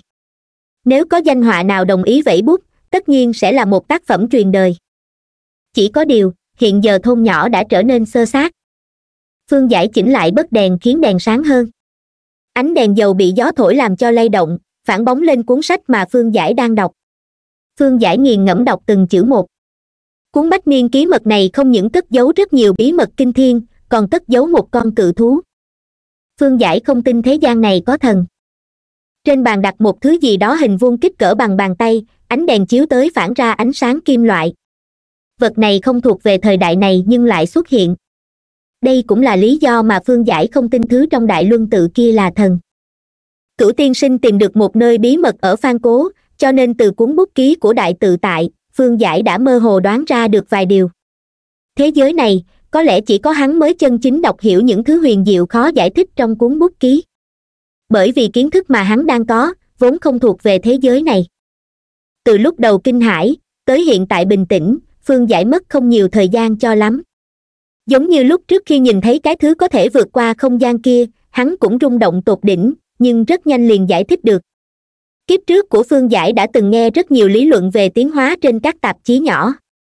Những lý luận này cũng chỉ là cách thu hút độc giả của báo chí. Văn minh. Từ khi sinh ra tới biến mất, lại sinh ra lần nữa.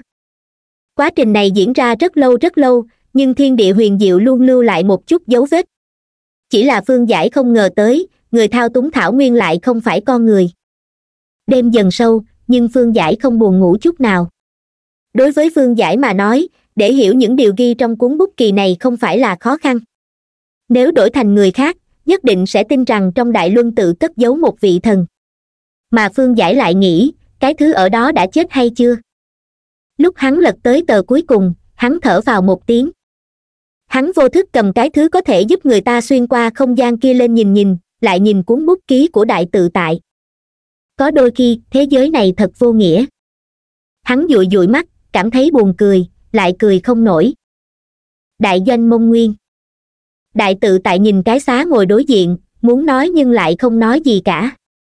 Có thể nhìn ra được, tâm tình của cái xá thật không tốt. Đại tự tại có thể hiểu một người mất ba mươi ba năm mới nuôi dưỡng được khí phách một khi suy sụp sẽ thế nào. Nếu cái xá không thể điều chỉnh kịp thời vậy thì khổ công ba mươi ba năm liền hóa thành hư ảo.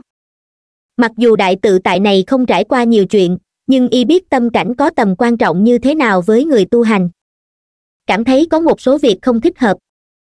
Cái xá nhíu mày càng sâu, trầm mặc một lúc mới mở miệng nói.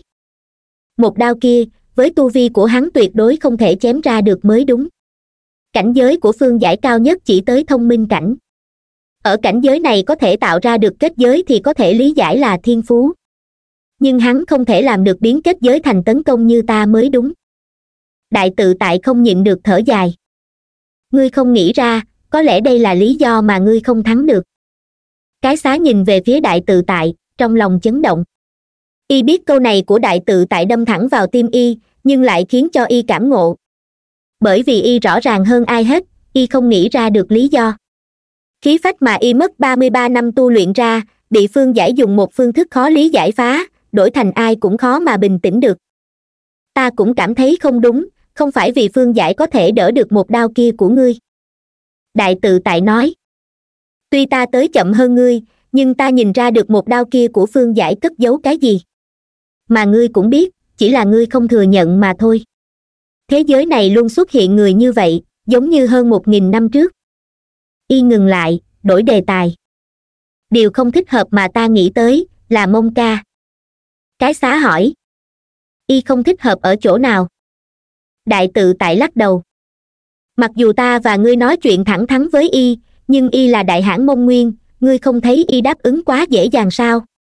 Huyết nha gặp phương giải ở bờ sông, ngươi liền quyết định ra tay, nhưng vì sao mông ca cũng muốn tới đó? Chẳng lẽ y không biết người đại tu hành giao chiến với nhau, người xung quanh có thể bị liên lụy sao? Biểu hiện của mông ca vào ban ngày đều không bình thường. Ngươi đang lo lắng điều gì? Cái xá hỏi. Lo lắng mông ca căn bản không có ý định liên kết với chúng ta. Thậm chí y không có ý định trở về vương đình tùy tiện như vậy. Y không phải là người dễ dàng bị người khác thay đổi suy nghĩ. Nếu bị thay đổi, thì cũng là vì suy nghĩ của y thay đổi mà thôi mặc kệ mông liệt ở tây bắc có tạo phản hay không, hình như đều không ảnh hưởng tới tâm cảnh của y. Nói như ngươi mới là không hợp lý. Cái xá nói, nếu y không quay về hãn vị khó giữ, tâm của y sao có thể không loạn được? Đại tự tại trầm mặt một lúc rồi ngẩng đầu nói, ta cảm thấy từ khi đi ra đại luân tự, mông ca có chút thay đổi. Giờ nghĩ lại, y đáp ứng thần, mang binh đông chinh quá đơn giản rồi đối với một vị hoàng đế không ngu ngốc, tâm tư nhẫn mịn như y, đánh cuộc vận mệnh quốc gia một cách khinh địch như vậy, chẳng lẽ không vô lý sao? Rốt cuộc ngươi muốn nói cái gì? Cái xá hỏi. Đại tự tại cẩn thận suy nghĩ một lát, trong đầu dường như bắt được gì đó. Lúc ấy thần phái người tới vương đình mời mông ca tiến vào đại luân tự. Trước đó, trận chiến giữa gia tộc khoác khắc đài mông và phật tông sở dĩ chấm dứt vội vàng, là vì thần để cho mông ca biết sự hiện hữu của mình mông ca nghĩ thần không thể chiến thắng cho nên tinh thần mới sa sút. Nhưng mà, lúc y tiến vào đại luân tự thấy được những hình ảnh kia, tính cách đột nhiên thay đổi, nói kiểu gì cũng thấy không hợp lý. Y nói mình làm vậy là vì thiên hạ chúng sinh, ngươi cảm thấy mông ca nguyện ý vì thiên hạ chúng sinh mà hy sinh người của mình không? Cái xá không biết đại tự tại nghĩ gì, nhưng y biết đáp án của câu này. Sẽ không? Cái xá khẳng định đáp mông ca là một người tuyệt sẽ không hy sinh thuộc hạ của mình vì bất kỳ ai. Đó mới là mông ca. Đại tự tại nói. Mông ca lãnh binh nhiều, vì sao nhập quan xong lại hạ lệnh chia binh? Vì sao y lại mau hiểm ở cùng với hắc sơn quân của ngươi? Cho dù có nguyệt ảnh đường ủng hộ, nhưng chẳng lẽ mông ca lại dễ dàng tin vào người khác rồi chia lực lượng của mình ra? Y không tin ngươi, không tin ta, chẳng lẽ lại tin cửu tiên sinh của nguyệt ảnh đường kia? Sở dĩ y làm như vậy, chắc chắn là có lý do. Ta đột nhiên nghĩ. Đại tự tại nhìn về phía cái xá. Mông ca căn bản không phải tuân theo ý chỉ của thần nên mới đông chinh, mà là vì mục đích khác nên mới nhập quan.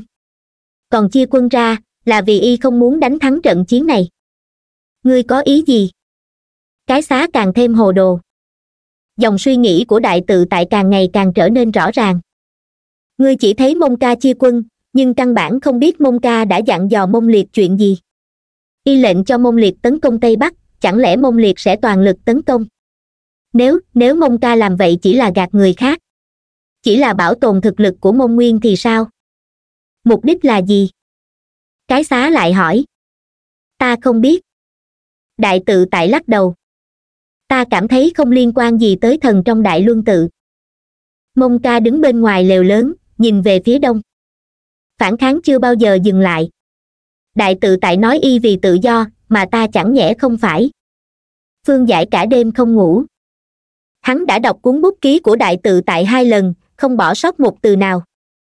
Từ những gì đại tự tại viết, phương giải có thể đoán ra được vị thần trong đại luân tự kia rốt cuộc là cái gì. Nhìn khắp thiên hạ, cũng chỉ có hắn không tin vật kia là thần. Lúc đại tự tại cẩn thận viết cuốn bút ký này, tâm tình phức tạp ra sao? Trước kia phương giải từng nghe qua một câu, tội ác có nguồn suối. Mà nguồn suối của tội ác thường là lòng người. Nhưng tội ác trong đại luân tự kia lại không phải từ lòng người. Đặt cuốn bút ký xuống, phương giải thấy bên ngoài đã tờ mờ sáng. Bạch điểu. Phương giải gọi nhẹ một tiếng. Một người đột ngột xuất hiện ở bên cạnh phương giải, giống như ông ta vẫn luôn ở đó.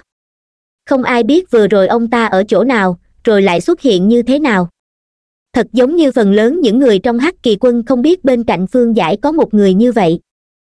Chủ công gọi thuộc hạ có gì chỉ bảo. Ngươi tới đại doanh mông nguyên, nói với mông ca rằng ta muốn gặp y. Bạch điểu gật đầu. Tuân lệnh. Ông ta nói mà không hề chần chừ, thật giống như đại doanh mông nguyên đầm rồng hang hổ kia chỉ như cái chợ với ông ta, tùy tiện có thể đi ra đi vào, tùy tiện có thể thấy người bán cá, bán rau phải biết rằng tuy hiện tại bên cạnh đại hãng mông nguyên không còn nhiều cao thủ bảo vệ như lúc trước, nhưng dù sao còn có một đại tự tại. Còn có một cái xá có thể hóa đao thành kết giới. Hẹn vào canh ba đêm nay, ngay ở bờ sông mà y cố ý bỏ lại cuốn bút ký. Phương giải nói. Cố ý. Bạch điểu hơi ngạc nhiên. Cuốn sách này là do mông ca cố ý để lại cho chủ công. Phương giải gật đầu chính vì thế mà ta mới muốn gặp y, có lẽ ngay từ lúc đầu ta đã hiểu sai mục đích đông chinh của mông ca. Gặp nhau một lần, về sau sẽ có lợi. Giờ nghĩ lại, từ lúc tiến binh cho tới lúc y chia binh ra, trên thực tế đã phạm vào tối kỵ của binh gia. Với đầu óc của mông ca, làm vậy tất nhiên là có nguyên do. Ta vốn tưởng rằng là nguyệt ảnh đường làm nội ứng cho y, nên y mới lớn mật như vậy. Hiện tại xem ra, dường như y có tâm tư khác nhưng bất kể như thế nào, y tiến binh vào trung nguyên là sự thật. Phương giải nhìn cuốn bút ký, chậm rãi nói. Giết dân chúng người hán của ta cũng là sự thật, cho nên hôm nay phải thanh toán khoản nợ. Bạch điểu cúi đầu. Thuộc hạ đi đây. Phương giải lắc đầu. Không vội, còn một chuyện ta muốn hỏi ngươi. Bạch điểu nói. Chủ công có chuyện gì cứ việc hỏi là được. Phương giải nghĩ một lát rồi nói sau khi tiến vào trường an, ta từng bảo ngươi bí mật điều tra lý do vì sao bắc sơn lại không có chim thú. Ngươi điều tra thật lâu cũng không tra ra được gì. Hiện tại ngươi cẩn thận nghĩ lại xem, liệu có chỗ nào không ổn mà ngươi không để ý tới không? Bạch điểu trầm tư một lát, lắc đầu nói. Thuộc hạ đã kiểm tra hơn nửa bắc sơn, dù là một con chim con thú cũng không thấy. Tuy nhiên cây cối lại xanh tươi um tùm. Thuộc hạ chọn một chỗ bụi cỏ rậm đào xuống dưới đào khoảng ba mét cũng không tìm được một con kiến nào. Thuộc hạ vô năng, không điều tra ra được nguyên nhân, nhưng mỗi lần tới bắc sơn, thuộc hạ đều có cảm giác không thoải mái. Càng đi sâu vào trong rừng, cảm giác thoải mái này càng mãnh liệt. Thật giống như bị thứ gì đó bóp chặt cổ họng, không thể hô hấp được. Trên bắc sơn, ngoại trừ cái hồ sâu có cá ra, cơ hồ không có vật sống nào khác. Bạch điểu cẩn thận nhớ lại những gì mình nhìn thấy giống như càng đi sâu vào trong bắc sơn, không khí càng loãng vậy. Về sau thuộc hạ bị đè nén không thể không dừng bước. Tuy nhiên phần rìa của khu rừng lại không có gì khác thường, chim vẫn bay, thỏ hoang vẫn chạy. Chỉ kỳ quái là chim không bay vào rừng, thỏ hoang không nhảy vào bụi rậm. Phương giải nhíu mày, bạch điểu từng nói những điều này lúc hắn ở trường an. Chẳng qua khi đó hắn không có nhiều liên tưởng, cho nên không nghi ngờ gì. Sau khi đọc qua bút tích của đại tự tại phương giải mới cảm thấy trong bắc sơn cất giấu một bí mật gì đó. Phái người trở về truyền tin cho trần hiếu nho, bảo y phái hai người đắc lực tiếp tục điều tra nguyên nhân bắc sơn không có chim thú. Tuân lệnh. Bạch điểu lên tiếng, sau đó nói. Chủ công, thuộc hạ cảm thấy bắc sơn rất u ám, giống như không thuộc về nhân gian. Phương giải cười cười. Nếu ở nhân gian, thì không có gì đáng sợ. Mặt khác ngươi phái người dùng tốc độ nhanh nhất truyền tin cho tống tự hối, bảo y lập tức chia binh. Phái một tướng lĩnh tới núi lan nhũ bảo vệ phan cố cho ta. Trước khi ta chưa tới phan cố, bất luận người ngoài nào cũng không được ra vào. Mặt khác, lại phái người truyền tin tới tây bắc, mời ngôn thanh tiên sinh và tạ phù diêu tới phan cố.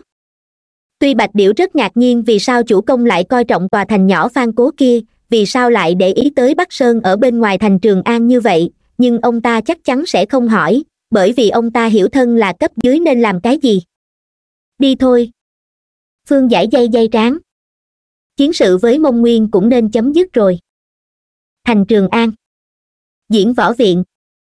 Giang hồ bây giờ đã khá điêu linh rồi, sau khi vạn lão gia tử đánh bại nguyệt ảnh đường, bởi vì lão gia tử không áp chế các tông môn giang hồ khác như nguyệt ảnh đường, cho nên cao thủ giang hồ xuất hiện tầng tầng lớp lớp sau khi lão gia tử xây dựng diễn võ viện, không hỏi chuyện giang hồ, người giang hồ tưởng rằng ông ấy đã qua đời, cho nên các tông môn lại tranh giành ngôi vị đệ nhất thiên hạ, dốc toàn lực bồi dưỡng những đệ tử có thiên phú. Chu bán xuyên đã say. Hai người đã uống nửa ngày một đêm, gió đêm lạnh cũng không thổi đi men say. Dưới bàn đá để ngổn ngang không ít bầu rượu. Tuổi hai người này cộng lại đã hơn một trăm năm mươi tuổi, nhưng vẫn say bất cần đời như vậy. Hiện tại thì sao? Chu bán xuyên nằm sấp xuống bàn, vừa nấc vừa nói.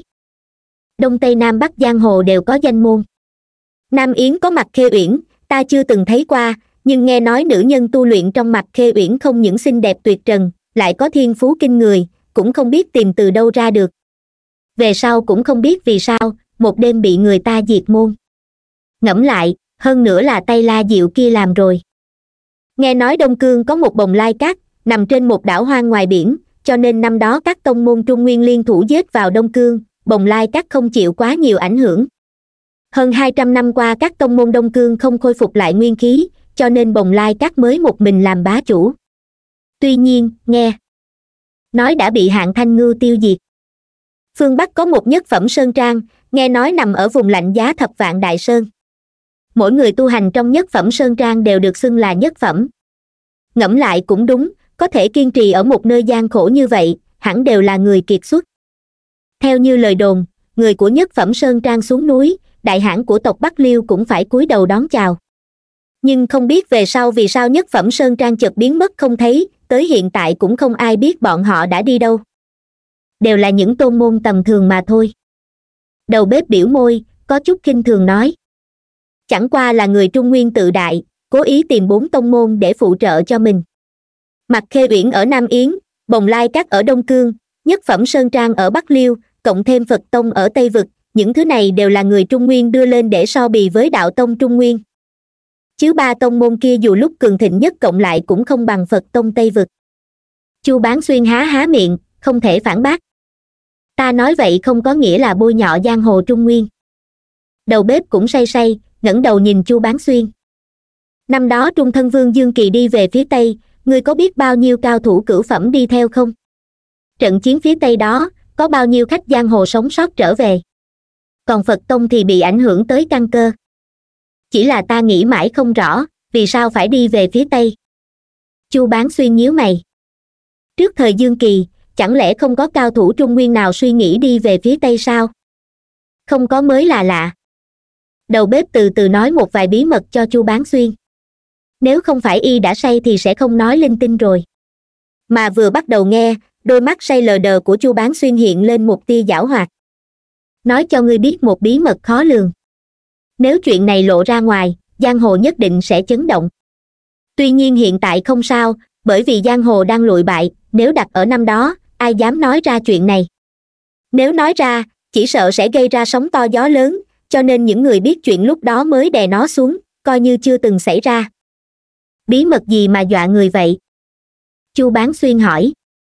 Đầu bếp bưng chén rượu trống rỗng lên uống, nhưng không nhận ra được chén đã hết rượu. Uống sau còn chật chật khen, dường như đang thưởng thức hương vị rượu. Đồ ăn trên bàn đã hết sạch từ lâu. Y cầm đũa gấp không khi bỏ vào miệng nhai ngon lành. Ngươi có biết đại đường chủ của nguyệt ảnh đường tên là gì không? Từ hy đúng vậy. Đầu bếp lau đi dầu mỡ không tồn tại ở miệng từ hy cũng chết ở phía tây, năm đó lão gia tử một kiếm đánh bại ông ta ông ta đã suy sụp một thời gian. Kỳ thực lúc các công môn bao vây nguyệt ảnh đường, ông ta chưa chết, chỉ là mất hết can đảm, không để ý tới thế sự nữa. Về sau cũng không biết vì sao, ông ta bỗng nhiên muốn đi về phía tây. Có lẽ là muốn khiêu chiến đại luân minh vương để chứng tỏ thực lực bản thân. Cái người chỉ thua trong tay lão gia tử đi về phía tây, người trung nguyên không ai biết nhưng lại gây ra một hồi bão táp cho phía tây. Đáng tiếc, nhân vật như vậy cũng không phải là đối thủ của đại luân minh vương, cuối cùng chết ở trong đại luân tự. Tuy nhiên, nghe nói một mình từ hy giải quyết mười mấy người đại tu hành cận thiên cảnh của phật tông.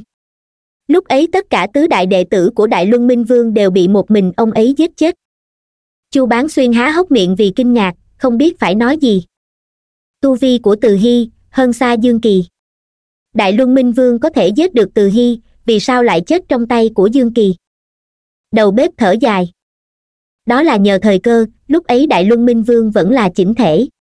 Lúc dương kỳ đi, hiển nhiên là có người giật dây, nói với dương kỳ rằng đại luân minh vương chỉ còn một nửa tu vi. Chỉ có điều không ai biết là kẻ nào giật dây. Ta từng cho rằng là lão gia tử, về sau nghĩ lại, hơn nữa không phải. Là ai được nhỉ? Chu bán xuyên suy nghĩ một lúc, cũng không nghĩ ra được là ai có thể thuyết phục dương kỳ đi về phía tây. Từ hy chết trong tay phật tông, đối với võ lâm trung nguyên mà nói, tuyệt đối là một đả kích. Nếu tin tức này truyền ra ngoài, tất nhiên gây ra chấn động. Cho nên chuyện này bị đè xuống, không lưu truyền ra ngoài. Đầu bếp thở dài. Kỳ thực đâu chỉ một mình từ hy. Các khách giang hồ trung nguyên một khi đạt tới trình độ nhất định đều muốn đi giết đại luân minh vương để chứng tỏ mình mới là đệ nhất thiên hạ. Không biết đã bao nhiêu người tới đó, nhưng khẳng định không ai còn sống trở về. Giờ đại luân minh vương chết rồi, nhưng ai biết trong phật tông còn cất giấu thứ gì nữa? Y nhìn thoáng qua chu bán xuyên. Cả đời ta không chủ động đánh nhau với người khác. Nếu lúc nào mà ta muốn đánh nhau, thì ta nhất định sẽ tới đại luân tự. Lại một ban đêm mặt trời và mặt trăng thay phiên nhau mang tới ánh sáng cho nhân gian. Có đôi khi mọi người sẽ cảm thấy mặt trăng quan trọng hơn mặt trời, bởi vì mặt trời không sáng vào buổi tối. Sau khi tới thế giới này, phương giải không chỉ một lần nghe nói như vậy, cũng không chỉ một lần nghe được những bài thơ khen ngợi mặt trăng. Các bộ lạc người hột ở phía nam và phần lớn nam yến đều có tập tục bái trăng. Sự kính trọng và ngưỡng mộ với mặt trăng hơn xa mặt trời. Dạ hành ba mươi dặm, hướng mặt trăng quỳ bái lúc thiên hữu hoàng đế ngự giá thân chính, cũng từng nói qua như vậy. Cũng không biết là ảo giác hay là thực như thế, nghi thủy vào ban đêm yên tĩnh hơn ban ngày không ít. Tiếng nước sông đập vào bờ rất nhẹ nhàng, giống như không dám quấy nhiễu đại địa đang ngủ say. Một chiếc thuyền nhỏ từ bờ đông sông nghi thủy đang chạy về hướng bờ tây. Trên thuyền chỉ có một người. Hắn mặc một bộ quần áo màu đen, tay cầm một gậy trúc thật dài, gậy trúc đẩy xuống sông, chiếc thuyền liền như bay trên mặt nước dưới bóng đêm, khuôn mặt của nam tử trẻ tuổi này khá lạnh lùng. Sau khi tới bờ tây, phương giải rời khỏi thuyền nhỏ, buộc thuyền ở một bên. Trong bóng đêm, một người giống như trong suốt chợt xuất hiện, vô thanh vô tức. Đang là ban đêm, người này lại xuất hiện như vậy, nếu bị người khác nhìn thấy chỉ sợ đã sợ tới mức ngất đi. Nhưng phương giải không lộ vẻ ngạc nhiên gì cả, bởi vì hắn biết người này chắc chắn sẽ đợi mình ở đây. Chủ công. Bạch điểu cúi người thi lễ thám báo mông nguyên ở bờ sông bên này đã được xử lý gọn ghẽ rồi. Tuy nhiên dựa theo thời gian mà lính tuần tra mông nguyên thay phiên nhau, thì nhiều nhất khoảng nửa canh giờ nữa bọn họ sẽ phát hiện ra đám thám báo mất tích. Tuy mông ca đã đáp ứng gặp mặt chủ công ở bên này, nhưng thuộc hạ vẫn muốn khuyên chủ công cẩn thận chút. Tặc tử mông nguyên, vốn chưa bao giờ nói tính nghĩa. Phương giải khẽ cười.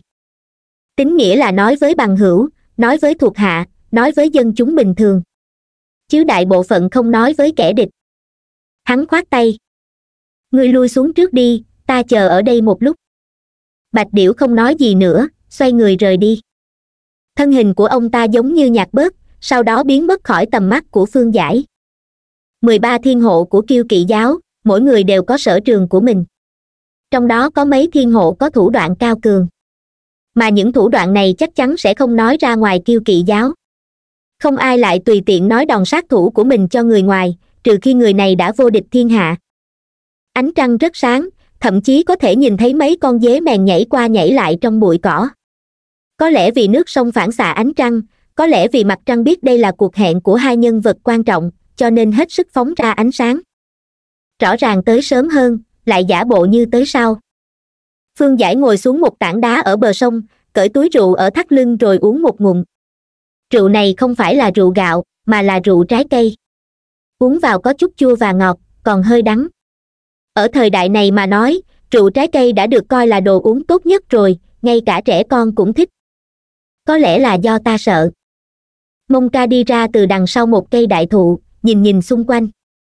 Làm đại hãn mông nguyên, không ngờ lại âm thầm rời khỏi đại doanh của mình, còn phải trốn tránh mọi người, giống như là đi ăn trộm khoai lang ở vườn nhà người ta vậy bởi vì khoai lang ngon ngọt.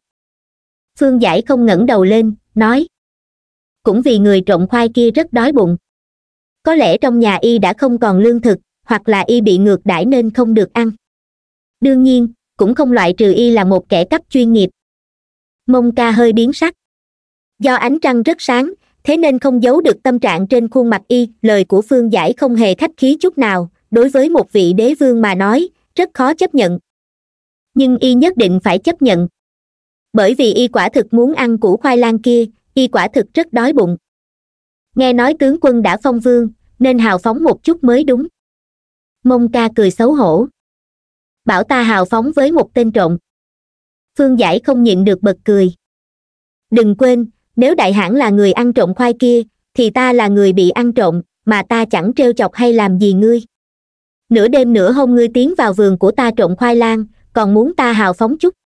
Chỉ vì nhà ta có mà nhà ngươi không có. Buồn cười không? Mông ca á khẩu không đáp được, không biết phải đàm phán tiếp kiểu gì. Chớ nói mấy lời vô dụng nữa. Phương giải ngẩng đầu nhìn mông ca. Hiện tại là ngươi nhờ vả ta, cho nên phải có thái độ của người nhờ vả mới đúng. Mặc kệ ngươi mang binh đông chinh là vì mục đích gì, thì ngươi đã đông chinh rồi. Tàn sát dân chúng của ta, hủy hoại ruộng tốt của ta tất cả việc này sẽ ghi vào trong sử sách. Nếu không phải vì mục đích kia của ngươi, thì việc này vốn không xảy ra rồi. Ta biết giữa ta và ngươi đã định trước không thể trở thành bằng hữu. Mông ca trầm mặt một lúc rồi nói. Nhưng, ta và ngươi có thể hợp tác? Phương giải nhếch cầm lên hỏi. Ta có khoai lang, ngươi có cái gì? Mông ca ngồi xuống đối diện phương giải, ngẩng đầu nhìn trăng sáng.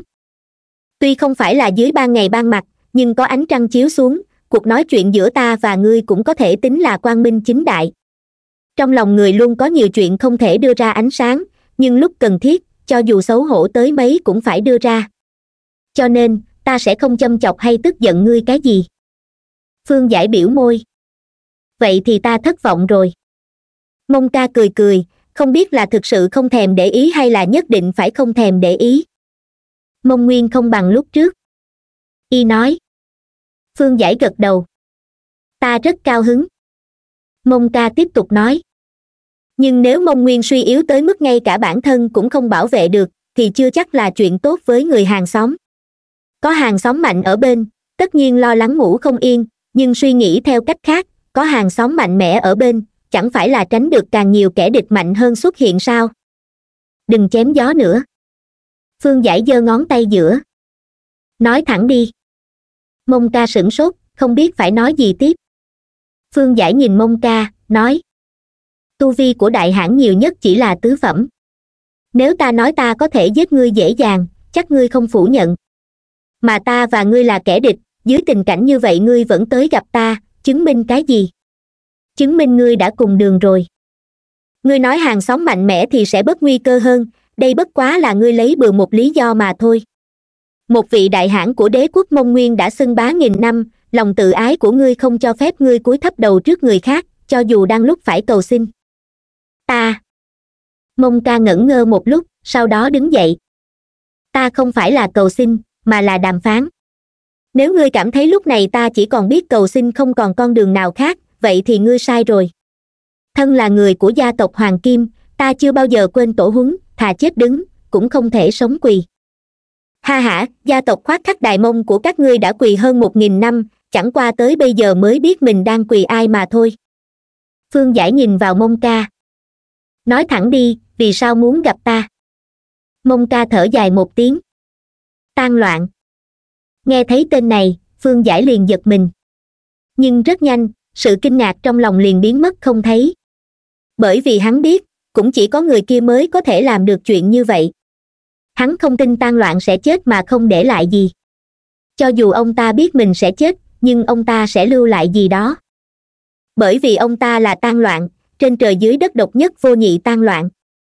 Ta từng tiến vào đại luân tự nhiều lần, nhưng quan trọng nhất là hai lần tiến vào cuối cùng. Lần đầu là ta quyết chiến với phật tông. Ta tưởng phật tông đã bị tiêu diệt rồi, nên ta tiến vào đại luân tự, gặp được sự tồn tại mơ hồ kia.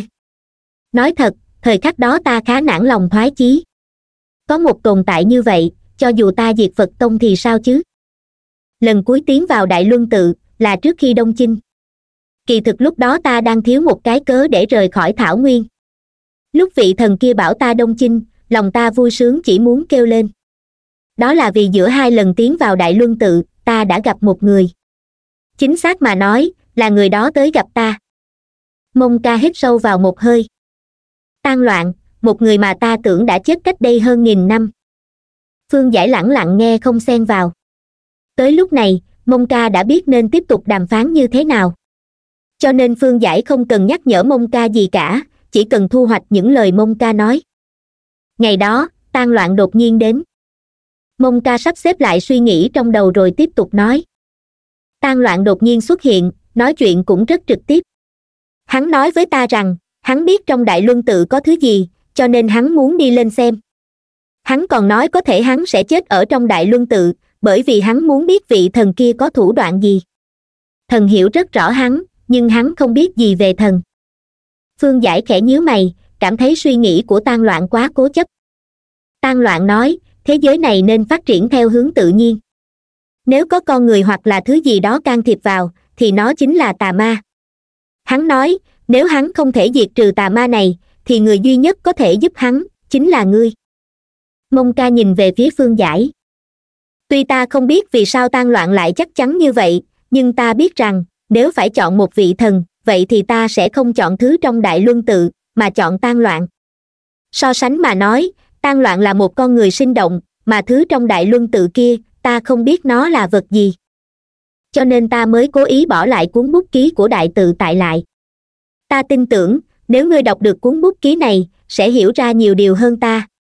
Đúng vậy, nhìn có vẻ như chuyện này không liên quan gì tới ngươi, bởi vì thứ kia giống như không khống chế được chuyện ở trung nguyên. Chỉ cần ngươi không vượt qua núi lan nhũ, thì giữa nó và ngươi vĩnh viễn không có liên hệ gì. Nhưng, giống như lần đông chinh này, nếu ta không đi, nó sẽ nghĩ biện pháp diệt trừ ta, rồi bồi dưỡng một đế quốc mới bởi vì nó đã biết sự tồn tại của ngươi, nhất định phải diệt trừ ngươi, ta. Không biết vì sao tan loạn lại cho rằng ngươi có thể giết được thần kia, cũng không biết vì sao thần lại e ngại ngươi như vậy, nhưng ta chỉ biết, đây là cơ hội của ta. Giúp ta. Y ngẩng đầu mạnh nhìn phương giải. Chỉ cần ngươi giúp ta diệt trừ vật kia, ta đồng ý trả giá bất kỳ thứ gì. Phương giải trầm mặt thật lâu, sau đó hít sâu một hơi ta rất muốn xử lý cái thứ mà ngươi nói kia, nhưng hiện tại ta không thể đi được. Ta cũng rất muốn có được trả giá của ngươi, nhưng hiện tại không được. Trước mắt ta và ngươi vẫn là kẻ địch, một khi ta chưa thể đối mặt với thứ gọi là thần kia, ta sẽ dốc toàn lực. Nhưng hiện tại đầu tiên ta phải đối mặt, chính là lan kỵ của ngươi còn đang giết chóc dân chúng của ta. Phương giải đứng dậy, phất tay nói. Điều duy nhất ta có thể làm, chính là đêm nay không giết ngươi phương giải đứng dậy muốn đi, mông ca vô thức giơ tay ngăn cản lại. Gã tiến một bước cản trước người phương giải, hai mắt lóe lên vẻ thất vọng.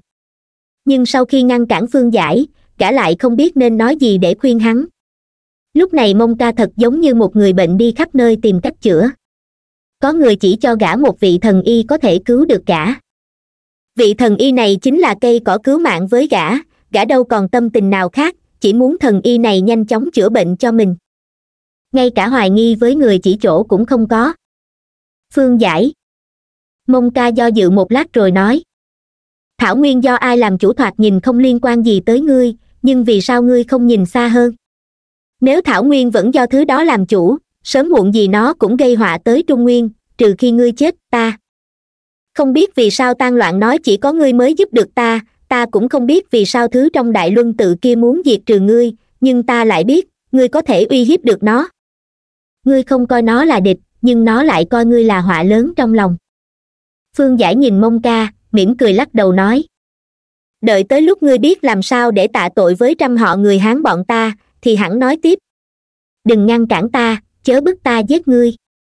Ngươi nên rõ ràng, ta không giết ngươi, là vì một khi ngươi sống, ta mới có lợi, chứ không phải là ta không muốn giết ngươi. Mặc kệ mông liệt có tạo phản hay không, mặc kệ cái xá và đại tự tại mưu đồ cái gì thì chỉ cần ngươi còn sống, bọn chúng sẽ kiềm chế lẫn nhau, người mông nguyên các ngươi càng loạn càng tốt.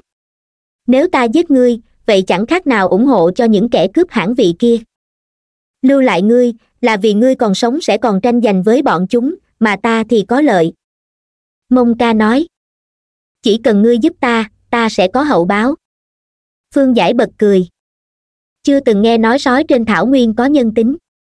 Mông ca sững sờ, trầm mặt một lúc rồi hỏi ngươi cứ nói đi, ngươi muốn cái gì? Phương giải thở dài. Tới lúc này ngươi mới nghĩ tới phải trả giá để được ta giúp. Giác ngộ của ngươi thật là chậm. Tuy nhiên, thân làm một đế vương mà cúi đầu trước kẻ địch nhờ vả, ta có thể hiểu được tâm tình này, cho nên ta rất thích. Phương giải lách qua mông ca, tiếp tục đi về phía trước. Ta không phải thánh nhân lòng mang thiên hạ, dân chúng trên thảo nguyên không phải là dân chúng của ta, dựa vào cái gì ta phải giúp ngươi? Ta thích kẻ địch, nhất là một vị đế vương cao quý cúi đầu trước ta nhờ vả. Ta chính là tiểu nhân như vậy đó, chắc ngươi đánh giá cao ta rồi. Mông ca biến sắc. Sự tôn nghiêm của đế vương bị phương giải dẫm lên như vậy, đã sắp tới biên giới không thể tha thứ với y rồi. Nhưng sự phẫn nộ đó sẽ không bùng phát.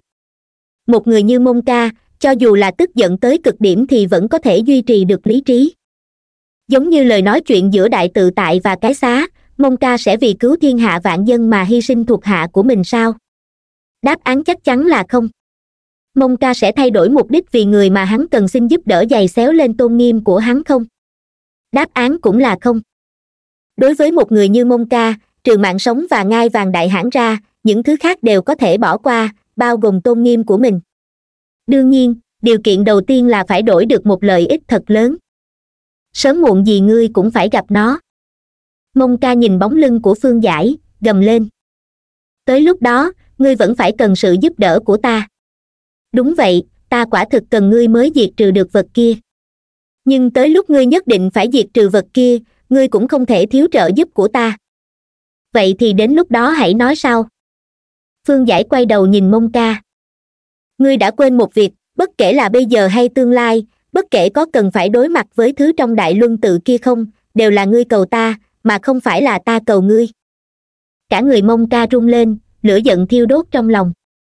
Nếu y có thể phóng thích được lửa giận, thì có lẽ đã đốt sạch sông lớn trước mặt rồi. Tên người hán đáng giận kia, cứ như vậy liền xoay người rời đi, bước lên thuyền nhỏ ở bờ sông, dùng gậy trúc dài đẩy một cái, thuyền nhỏ liền lướt đi như bay. Kiêu ngạo, ngông cuồng. Mông ca cắn răng nói, nếu ánh mắt có thể biến thành dao găm, thì phương giải đã bị bầm thây vạn đoạn thân là đại hãn mông nguyên, một trong những người rất có quyền lực ở thế gian này, y đâu từng ăn nói khép nép với người khác như vậy. Buông tha tôn nghiêm của đại hãn buông tha tôn nghiêm của gia tộc hoàng kim, nhưng y không đổi được kết quả mà y muốn có.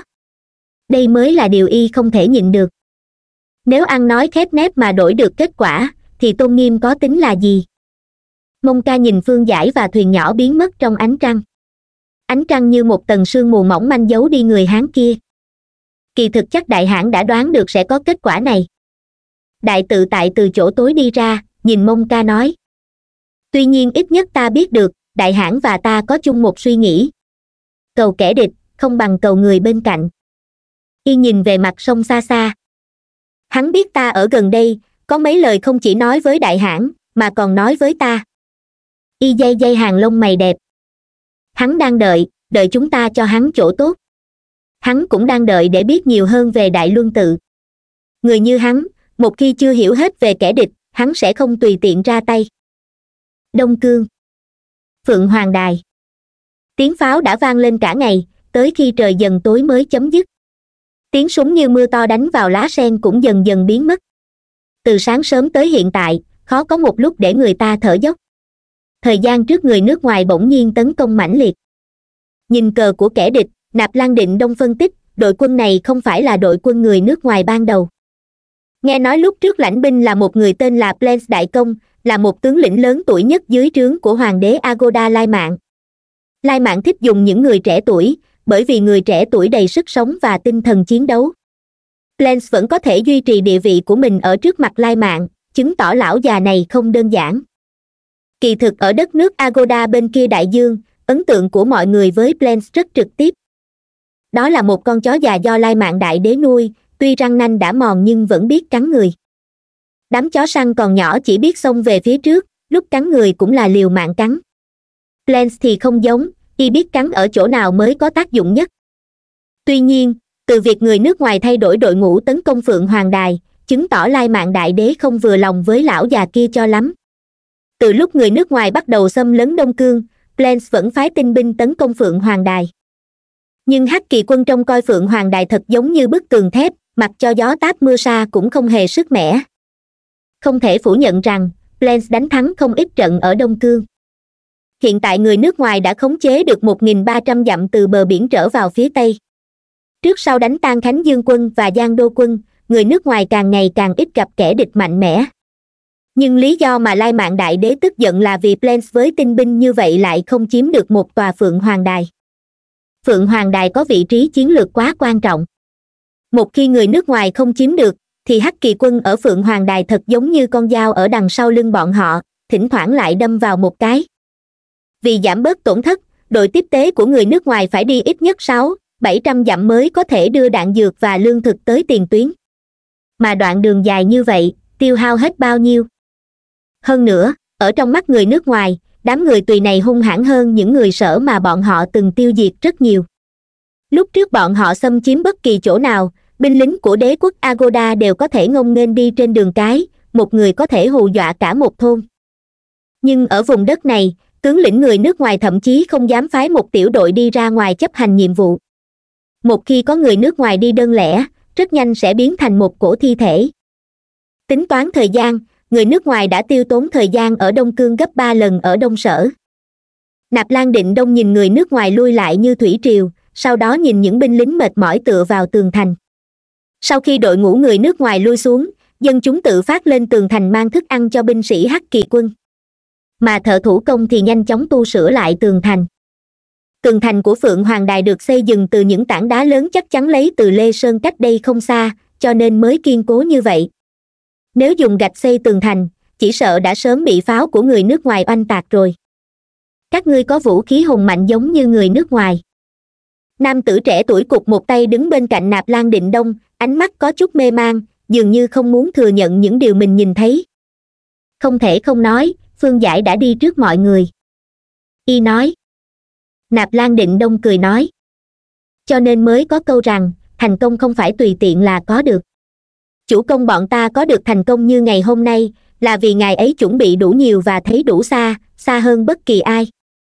Thực ra lúc trước các tướng lĩnh hắc kỳ quân đều không hiểu vì sao chủ công lại mất nhiều công sức dựng lên hỏa khí doanh như vậy. Hiện tại mới biết, hóa ra chủ công đã nhìn thấy bên kia đại dương. Một nhàn quân không phủ nhận, tuy lời của nạp lan định đông có hơi quá, nhưng y biết đó là lời nói thật. Người đông cương, vĩnh viễn sẽ ghi nhớ công ơn của hắc kỳ quân y nói. Nạp lan định đông đang nghe truyện trên tv audio cv lắc đầu. Đừng nghĩ vậy. Sớm muộn gì đông cương cũng là của chủ công bọn ta. Một nhàn quân nhíu mày, hai hàng lông mày lộ ra sát khí. Ngươi muốn giết ta không chỉ một lần rồi. Nạp lan định đông căn bản không nhìn y, vẫn nhìn về phía xa xa như cũ. Nhưng ngươi cũng nhịn bấy nhiêu lần, bởi vì ngươi rất rõ ràng, hiện tại đông cương không thể thiếu hắc kỳ quân bọn ta vị phụ thân kia của ngươi càng lớn tuổi càng hồ đồ. Nhìn hiện tại quân đội các nơi đầu phục ai liền biết, quyền chủ đạo ở chiến trường đông cương đã dần dần không thuộc về một phủ nữa rồi, mà là hắc kỳ quân bọn ta. Cho nên, ngươi thu hồi ý nghĩ giết ta đi. Một nhàn quân trầm mặt một lúc rồi nói. Đợi sau khi đánh lui người nước ngoài, một phủ và hắc kỳ quân nhất định sẽ có một trận chiến. Khi đó, ta sẽ giết ngươi. Nạp lan định đông mỉm cười nói đừng thề linh tinh thế, ông trời nghe được ngươi, nếu ngươi thề mà không làm được thì chẳng phải ông trời sẽ cười nhạo sao? Ngươi không trở về một phủ, không trở về bên cạnh phụ thân ngươi, còn không phải vì ngươi đã thất vọng với y đó sao? Cho nên có những thời điểm, phải nhìn thẳng vào thực tế, thì mới nhìn thấy được tương lai. Một nhàn quân nắm chặt tay, thật lâu sau lại vô lực buông ra lúc trước nạp lan định đông cũng thật không ngờ rằng một nhàn quân lại lựa chọn ở lại đây mà không quay về bên cạnh một quảng lăng. Một tư hoang trở về, vì muốn bảo vệ bản thân, khẳng định sẽ bí quá hóa liều.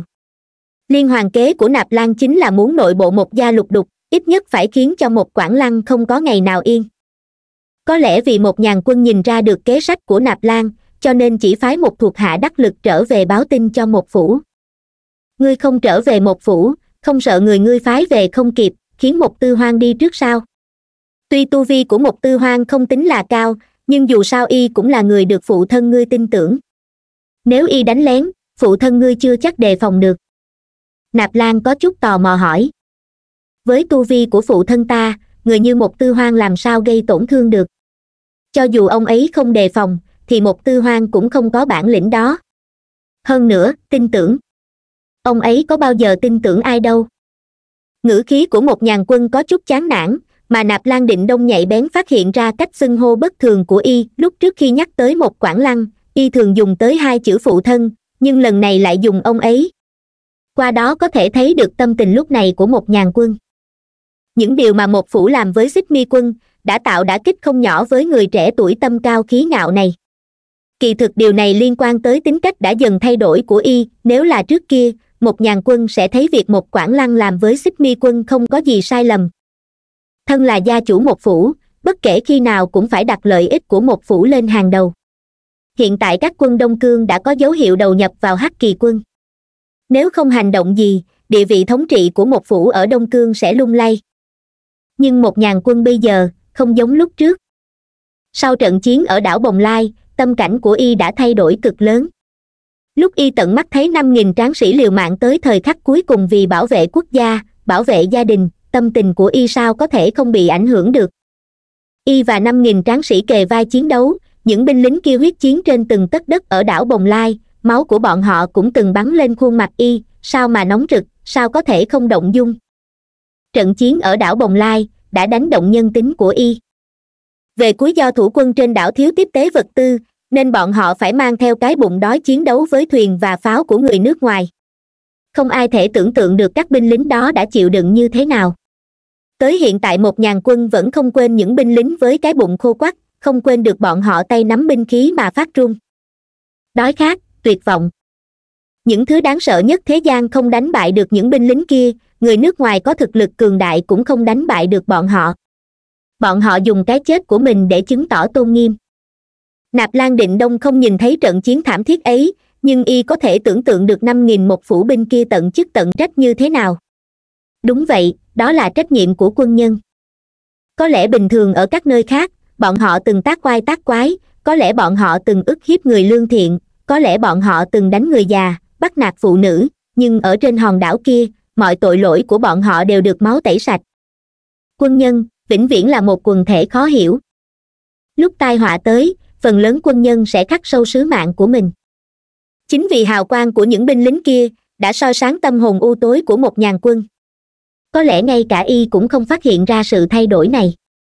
Y cũng chưa từng nghĩ tới, từ lúc y bắt đầu ghét cái việc một quản lăng ra tay với xích mi quân, ghét cái việc một quản lăng ra tay với các đội ngũ khác, y và cha của mình đã cách nhau càng ngày càng xa, cũng cách giấc mộng làm chủ nhân một phủ càng ngày càng xa. Buổi tối người nước ngoài có thể tấn công lần nữa một nhàn quân không muốn nghĩ tới phụ thân nữa, cho nên chỉ đại doanh của người nước ngoài ở phía xa xa. Ngươi xem, phía sau đại doanh của người nước ngoài vẫn còn tập kết đội ngũ. Bên cạnh đội ngũ tập kết còn có thể nhìn thấy khói bếp nổi lên, hiển nhiên là đang đợi ăn cơm. Một nhàn quân nhìn trời chiều. Trời sắp tối rồi, xem chừng người nước ngoài sẽ ăn cơm sau khi trời tối. Mà sau khi ăn xong khoảng một canh giờ, chính là thời gian người nước ngoài sẽ tấn công nạp lan định đông biết một nhàn quân nói không sai. Vị thiếu chủ một phủ từng sống an nhàn sung sướng, trải qua rất nhiều trận chiến, đã càng ngày càng trưởng thành. Nếu ăn cơm xong mà liền tấn công, đầu tiên là trời còn chưa đủ tối, thứ hai là ăn xong người sẽ có một chút mệt mỏi lười biếng. Đợi một canh giờ để tiêu hóa, là lúc thể lực lấy lại đầy đủ. Thật kỳ quái. Nạp lan định đông nói. Dựa theo lẽ thường, tập kích đêm đều là sau giờ tí lúc đó là lúc người ta buồn ngủ nhất. Nhưng người nước ngoài có vẻ như không muốn đợi tới giờ tí. Một nhàn quân buông thiên lý nhãn xuống. Ta không biết vì sao người nước ngoài bố trí như vậy, nhưng ta biết rằng nếu nửa canh giờ sau ngươi mang binh xông ra ngoài tập kích, thì người nước ngoài đang ăn cơm sẽ không kịp chuẩn bị. Nạp lan định đông cười rộ lên. Khó trách tướng sĩ xích mi quân phục ngươi như vậy. Hóa ra không chỉ vì khuôn mặt tuấn tú của ngươi. Một nhàn quân nhíu mày liếc nạp lan định đông một cái, lười nói thêm. Kỳ thực ở chiến sự đông cương Plans đại công không chỉ huy sai lầm gì cả. Lão già này đã cố gắng giúp người nước ngoài thu hoạch lớn nhất. Ông ta nhạy bén phát hiện ra một phủ và các đội quân người hán khác xảy ra mâu thuẫn, cho nên ông ta bắt đầu lợi dụng mâu thuẫn đó. Tuy tốc độ tấn công của người nước ngoài ở đông cương kém xa lúc tấn công đông sở, nhưng phần lớn các trận chiến, người nước ngoài không hề chịu thiệt. Nhưng hiển nhiên điều này vẫn chưa khiến lai mạng đại đế hài lòng. Cho nên y lệnh plans mang binh giao chiến với một phủ, còn phượng hoàng đài này thì giao cho người khác. Người khác này là một nam tử tuổi chừng hai mươi lăm, khá là cao ngạo. Y tên là ngụy nhân cách. Ở dưới trướng của lai mạng đại đế, có nhiều tướng lĩnh trẻ tuổi hơn y, nhưng lại không có ai lập nên nhiều công trạng như y. Người này có huyết thống quý tộc, từ mười sáu tuổi đã nhập ngũ. Thời khắc cầm vũ khí mặc quần áo quân nhân y liền khiến người ta cảm thấy không tầm thường. Y giống như được sinh ra vì chiến tranh. Cao ngạo chỉ là tính cách của y. Ác độc vô tình mới là thủ đoạn của y. Plans quá già rồi. Ngụy nhân cách cao chừng một m chín, nhưng không cường tráng như những người nước ngoài khác. Trái lại, tuy y rất cao, nhưng lại rất gầy, cho nên nhìn y giống như một người bệnh mới khỏi. Y có làn da trắng đặc trưng của người nước ngoài, có một bộ tóc ngắn xoăn tít lông mi màu vàng nhạt, con ngươi màu xanh đậm cất giấu một sự thô bao khó tưởng. Là một quý tộc, cho nên y biết cách bày ra phong thái cao quý của nam nhân. Lúc giết người y cũng không muốn bàn tay của mình dính dù chỉ một chút máu tươi. Trong mắt y, máu không phải là thứ thuần khiết, mà là thứ dơ bẩn. Có lẽ y cho rằng máu chảy trong người mình khác với dòng máu ti tiện chảy trong những người khác. Bệ hạ luôn khen ngợi plans ở trước mặt chúng ta nói rằng tuy ông ta đã già nhưng chưa bao giờ quên mài đao của mình. Lúc nhỏ ta từng kính trọng và ngưỡng mộ những người già như ông ta. Bởi vì bọn họ đã vì đế quốc lập nên rất nhiều công lao. Tuy nhiên đáng tiếc rằng, năm tháng không chừa một ai. Già chính là già, không dùng được chính là không dùng được. Ngụy nhân cách lắc lắc chén thủy tinh, nhìn rượu đỏ đung đưa. Lance luôn kiên trì một chiến thuật lạc hậu ông ta tưởng dựa vào vũ khí hùng mạnh của chúng ta là có thể đánh bại được người hán. Điều này hiển nhiên là sai. Quân nhân có kiêu ngạo của quân nhân, có đôi khi ý chí của quân nhân còn mạnh mẽ hơn cả vũ khí.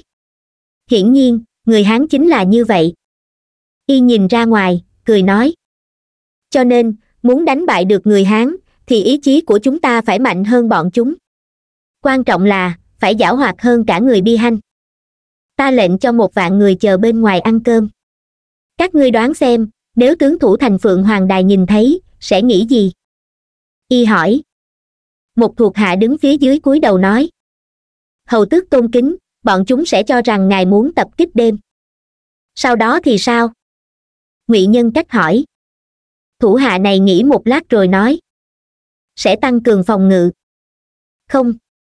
Ngụy nhân cách lắc đầu đầu óc của ngươi vẫn thiếu linh hoạt, giống như tường thành phượng hoàng đài kia, không biết động đậy. Ta đã cẩn thận quan sát mấy ngày rồi, cũng biết được phong cách chỉ huy của tướng người hán kia, y là một kẻ giảo hoạt. Cho nên chúng ta phải lợi dụng sự giảo hoạt này. Ta cố ý cho bọn chúng nhìn thấy. Nếu không có bất ngờ gì xảy ra, một giờ sau, người hán sẽ từ phượng hoàng đài bên kia lao tới. Bởi vì bọn chúng cảm thấy lúc chúng ta ăn cơm là lúc đề phòng thấp nhất lúc đó trời vừa mới tối không lâu. Y cười cười, khóe miệng có dính rượu đỏ, nhìn như vết máu. Duy thái cách. Y nhìn thuộc hạ kia, phân phó. Cách thời gian người hán tấn công còn một tiếng, ta cho ngươi nửa tiếng tập hợp đội ngũ, mai phục ở khu rừng cách phía tây năm dặm. Nếu người hán tới, thì đây là công lao ta thưởng cho ngươi. Nếu ngươi may mắn giết được tướng thủ thành, ta không ngại viết tên của ngươi rồi trình lên bệ hạ ngươi đang là nam tước phải không? Y hỏi. Tướng người nước ngoài tên là duy thái cách lập tức kích động, cả người khẽ run. Vâng hầu tước đại nhân, thuộc hạ kế thừa tước vị của cha mình. Ừ. Ngụy nhân cách khoát tay nói. Đi thôi, xong trận chiến này, có lẽ ta phải gọi ngươi là tử tước đại nhân rồi. Y nhìn ly rượu đỏ trong tay, dưới ánh đèn phát ra một màu đỏ quỷ dị.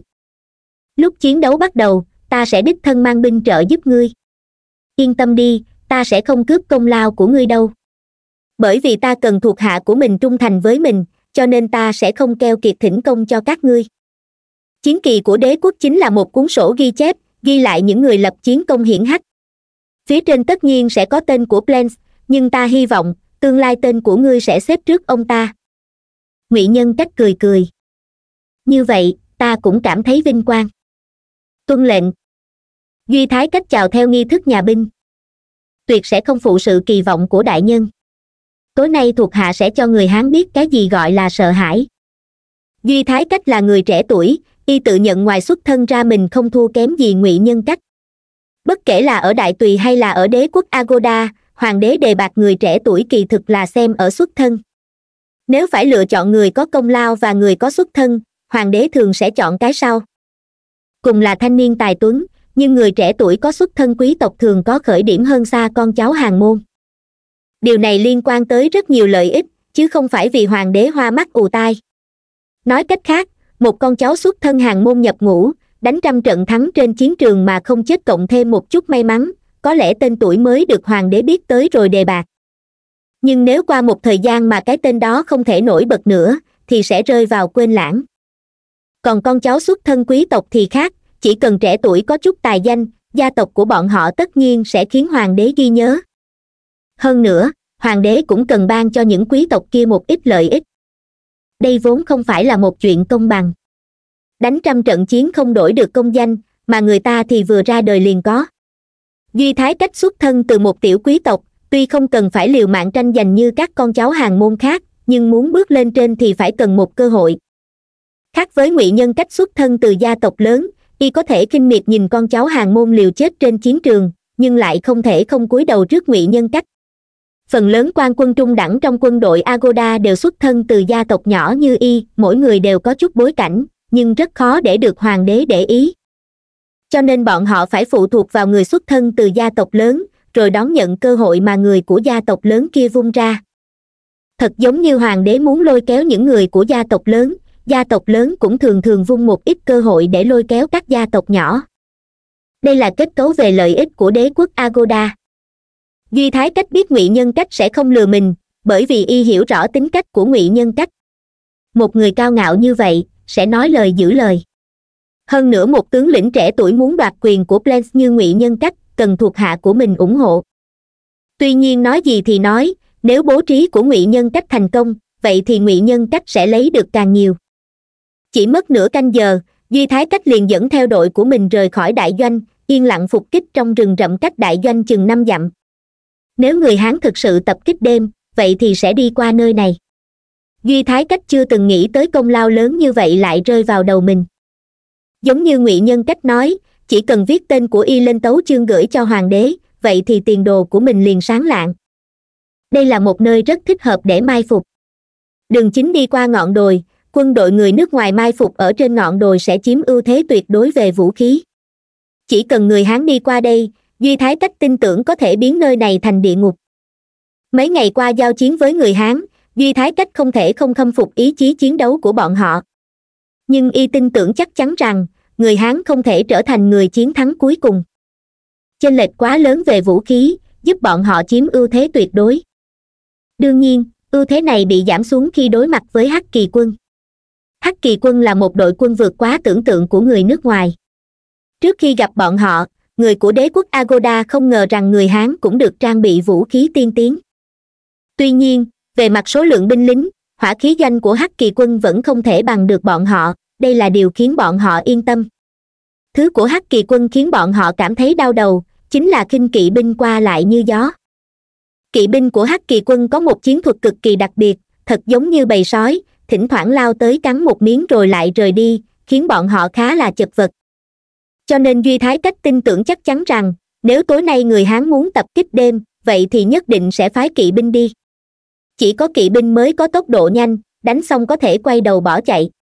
Đương nhiên, còn sẽ có rất nhiều người tu hành khiến người agoda sợ hãi tham chiến.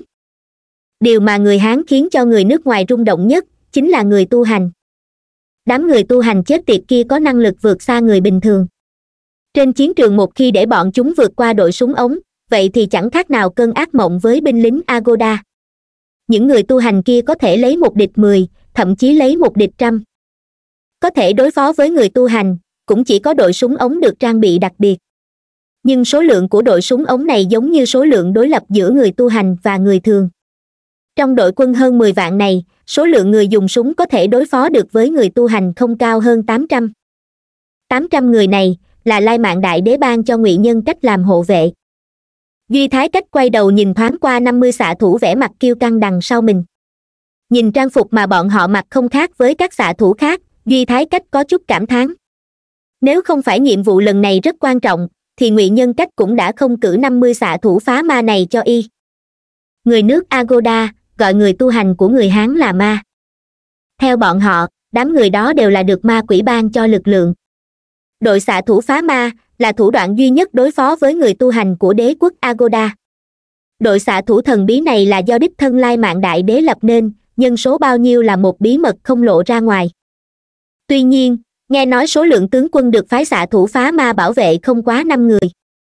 Đương nhiên, năm người này sẽ chia số xạ thủ ra cho cấp dưới quan trọng của mình cho nên, trong trận chiến tranh này, tỷ lệ quan quân ở tầng thấp của đế quốc agoda tử vong rất cao. Đám tu hành người hán đó đã học được cách phân biệt quan quân, cho nên quan quân trung tầng là mục tiêu của người tu hành. Nhìn năm mươi xạ thủ phá ma đằng sau, trong lòng duy thái cách kiên định hơn không ít. Trời đã tối. Y hít hít mũi, dường như ngửi thấy mùi máu tươi. Cho nên y có chút hưng phấn, nghĩ tới sau trận chiến này, tên của mình sẽ xuất hiện ở trong mắt lai mạng đại đế sự kích động khiến y khó tự chủ được. Tim đang đập thình thịch, cảm giác này còn kích thích hơn lúc y mười lăm tuổi cưỡng bức một đứa con gái của quản gia ở vườn hoa. Duy thái cách phát hiện mình phạm vào một sai lầm lớn. Trước khi chiến tranh bắt đầu, y tin tưởng từng câu từng chữ của ngụy nhân cách. Bởi vì y biết giả tâm của ngụy nhân cách, biết ngụy nhân cách cần những thuộc hạ trung thành như mình. Nhưng y chưa từng nghĩ quá, mình lại trở thành một tảng đá kê chân trên con đường thăng tiến của ngụy nhân cách một quân cờ thí. Lúc y phát hiện ra thì đã chậm. Người hán quả thực tập kích đêm, tới cũng là đội kinh kỵ binh kia. Nhưng ngay từ lúc đầu đã có chút không đúng. Dựa theo thói quen của quân đội người hán, duy thái cách biết tiểu đội kỵ binh đi trước là để thăm dò. Một khi phía trước có nguy hiểm gì, những thám báo này sẽ lập tức phát tín hiệu, khiến đại đội binh mã đằng sau dừng lại. Cho nên lúc nhìn thấy một đội binh mã chừng mấy trăm người đi tới duy thái cách hạ lệnh chớ nổ súng. Y lệnh cho binh lính duy trì yên tĩnh, thậm chí không được hô hấp lớn. Là một tướng lĩnh đủ tư cách, duy thái cách biết quyết định thắng bại trên chiến trường thường là những chi tiết nho nhỏ. Nếu như mình không cẩn thận, vậy thì vận mệnh của mình sẽ tới điểm cuối. Nếu thấy hay thì nhớ like và đăng ký kênh để ủng hộ mình nha.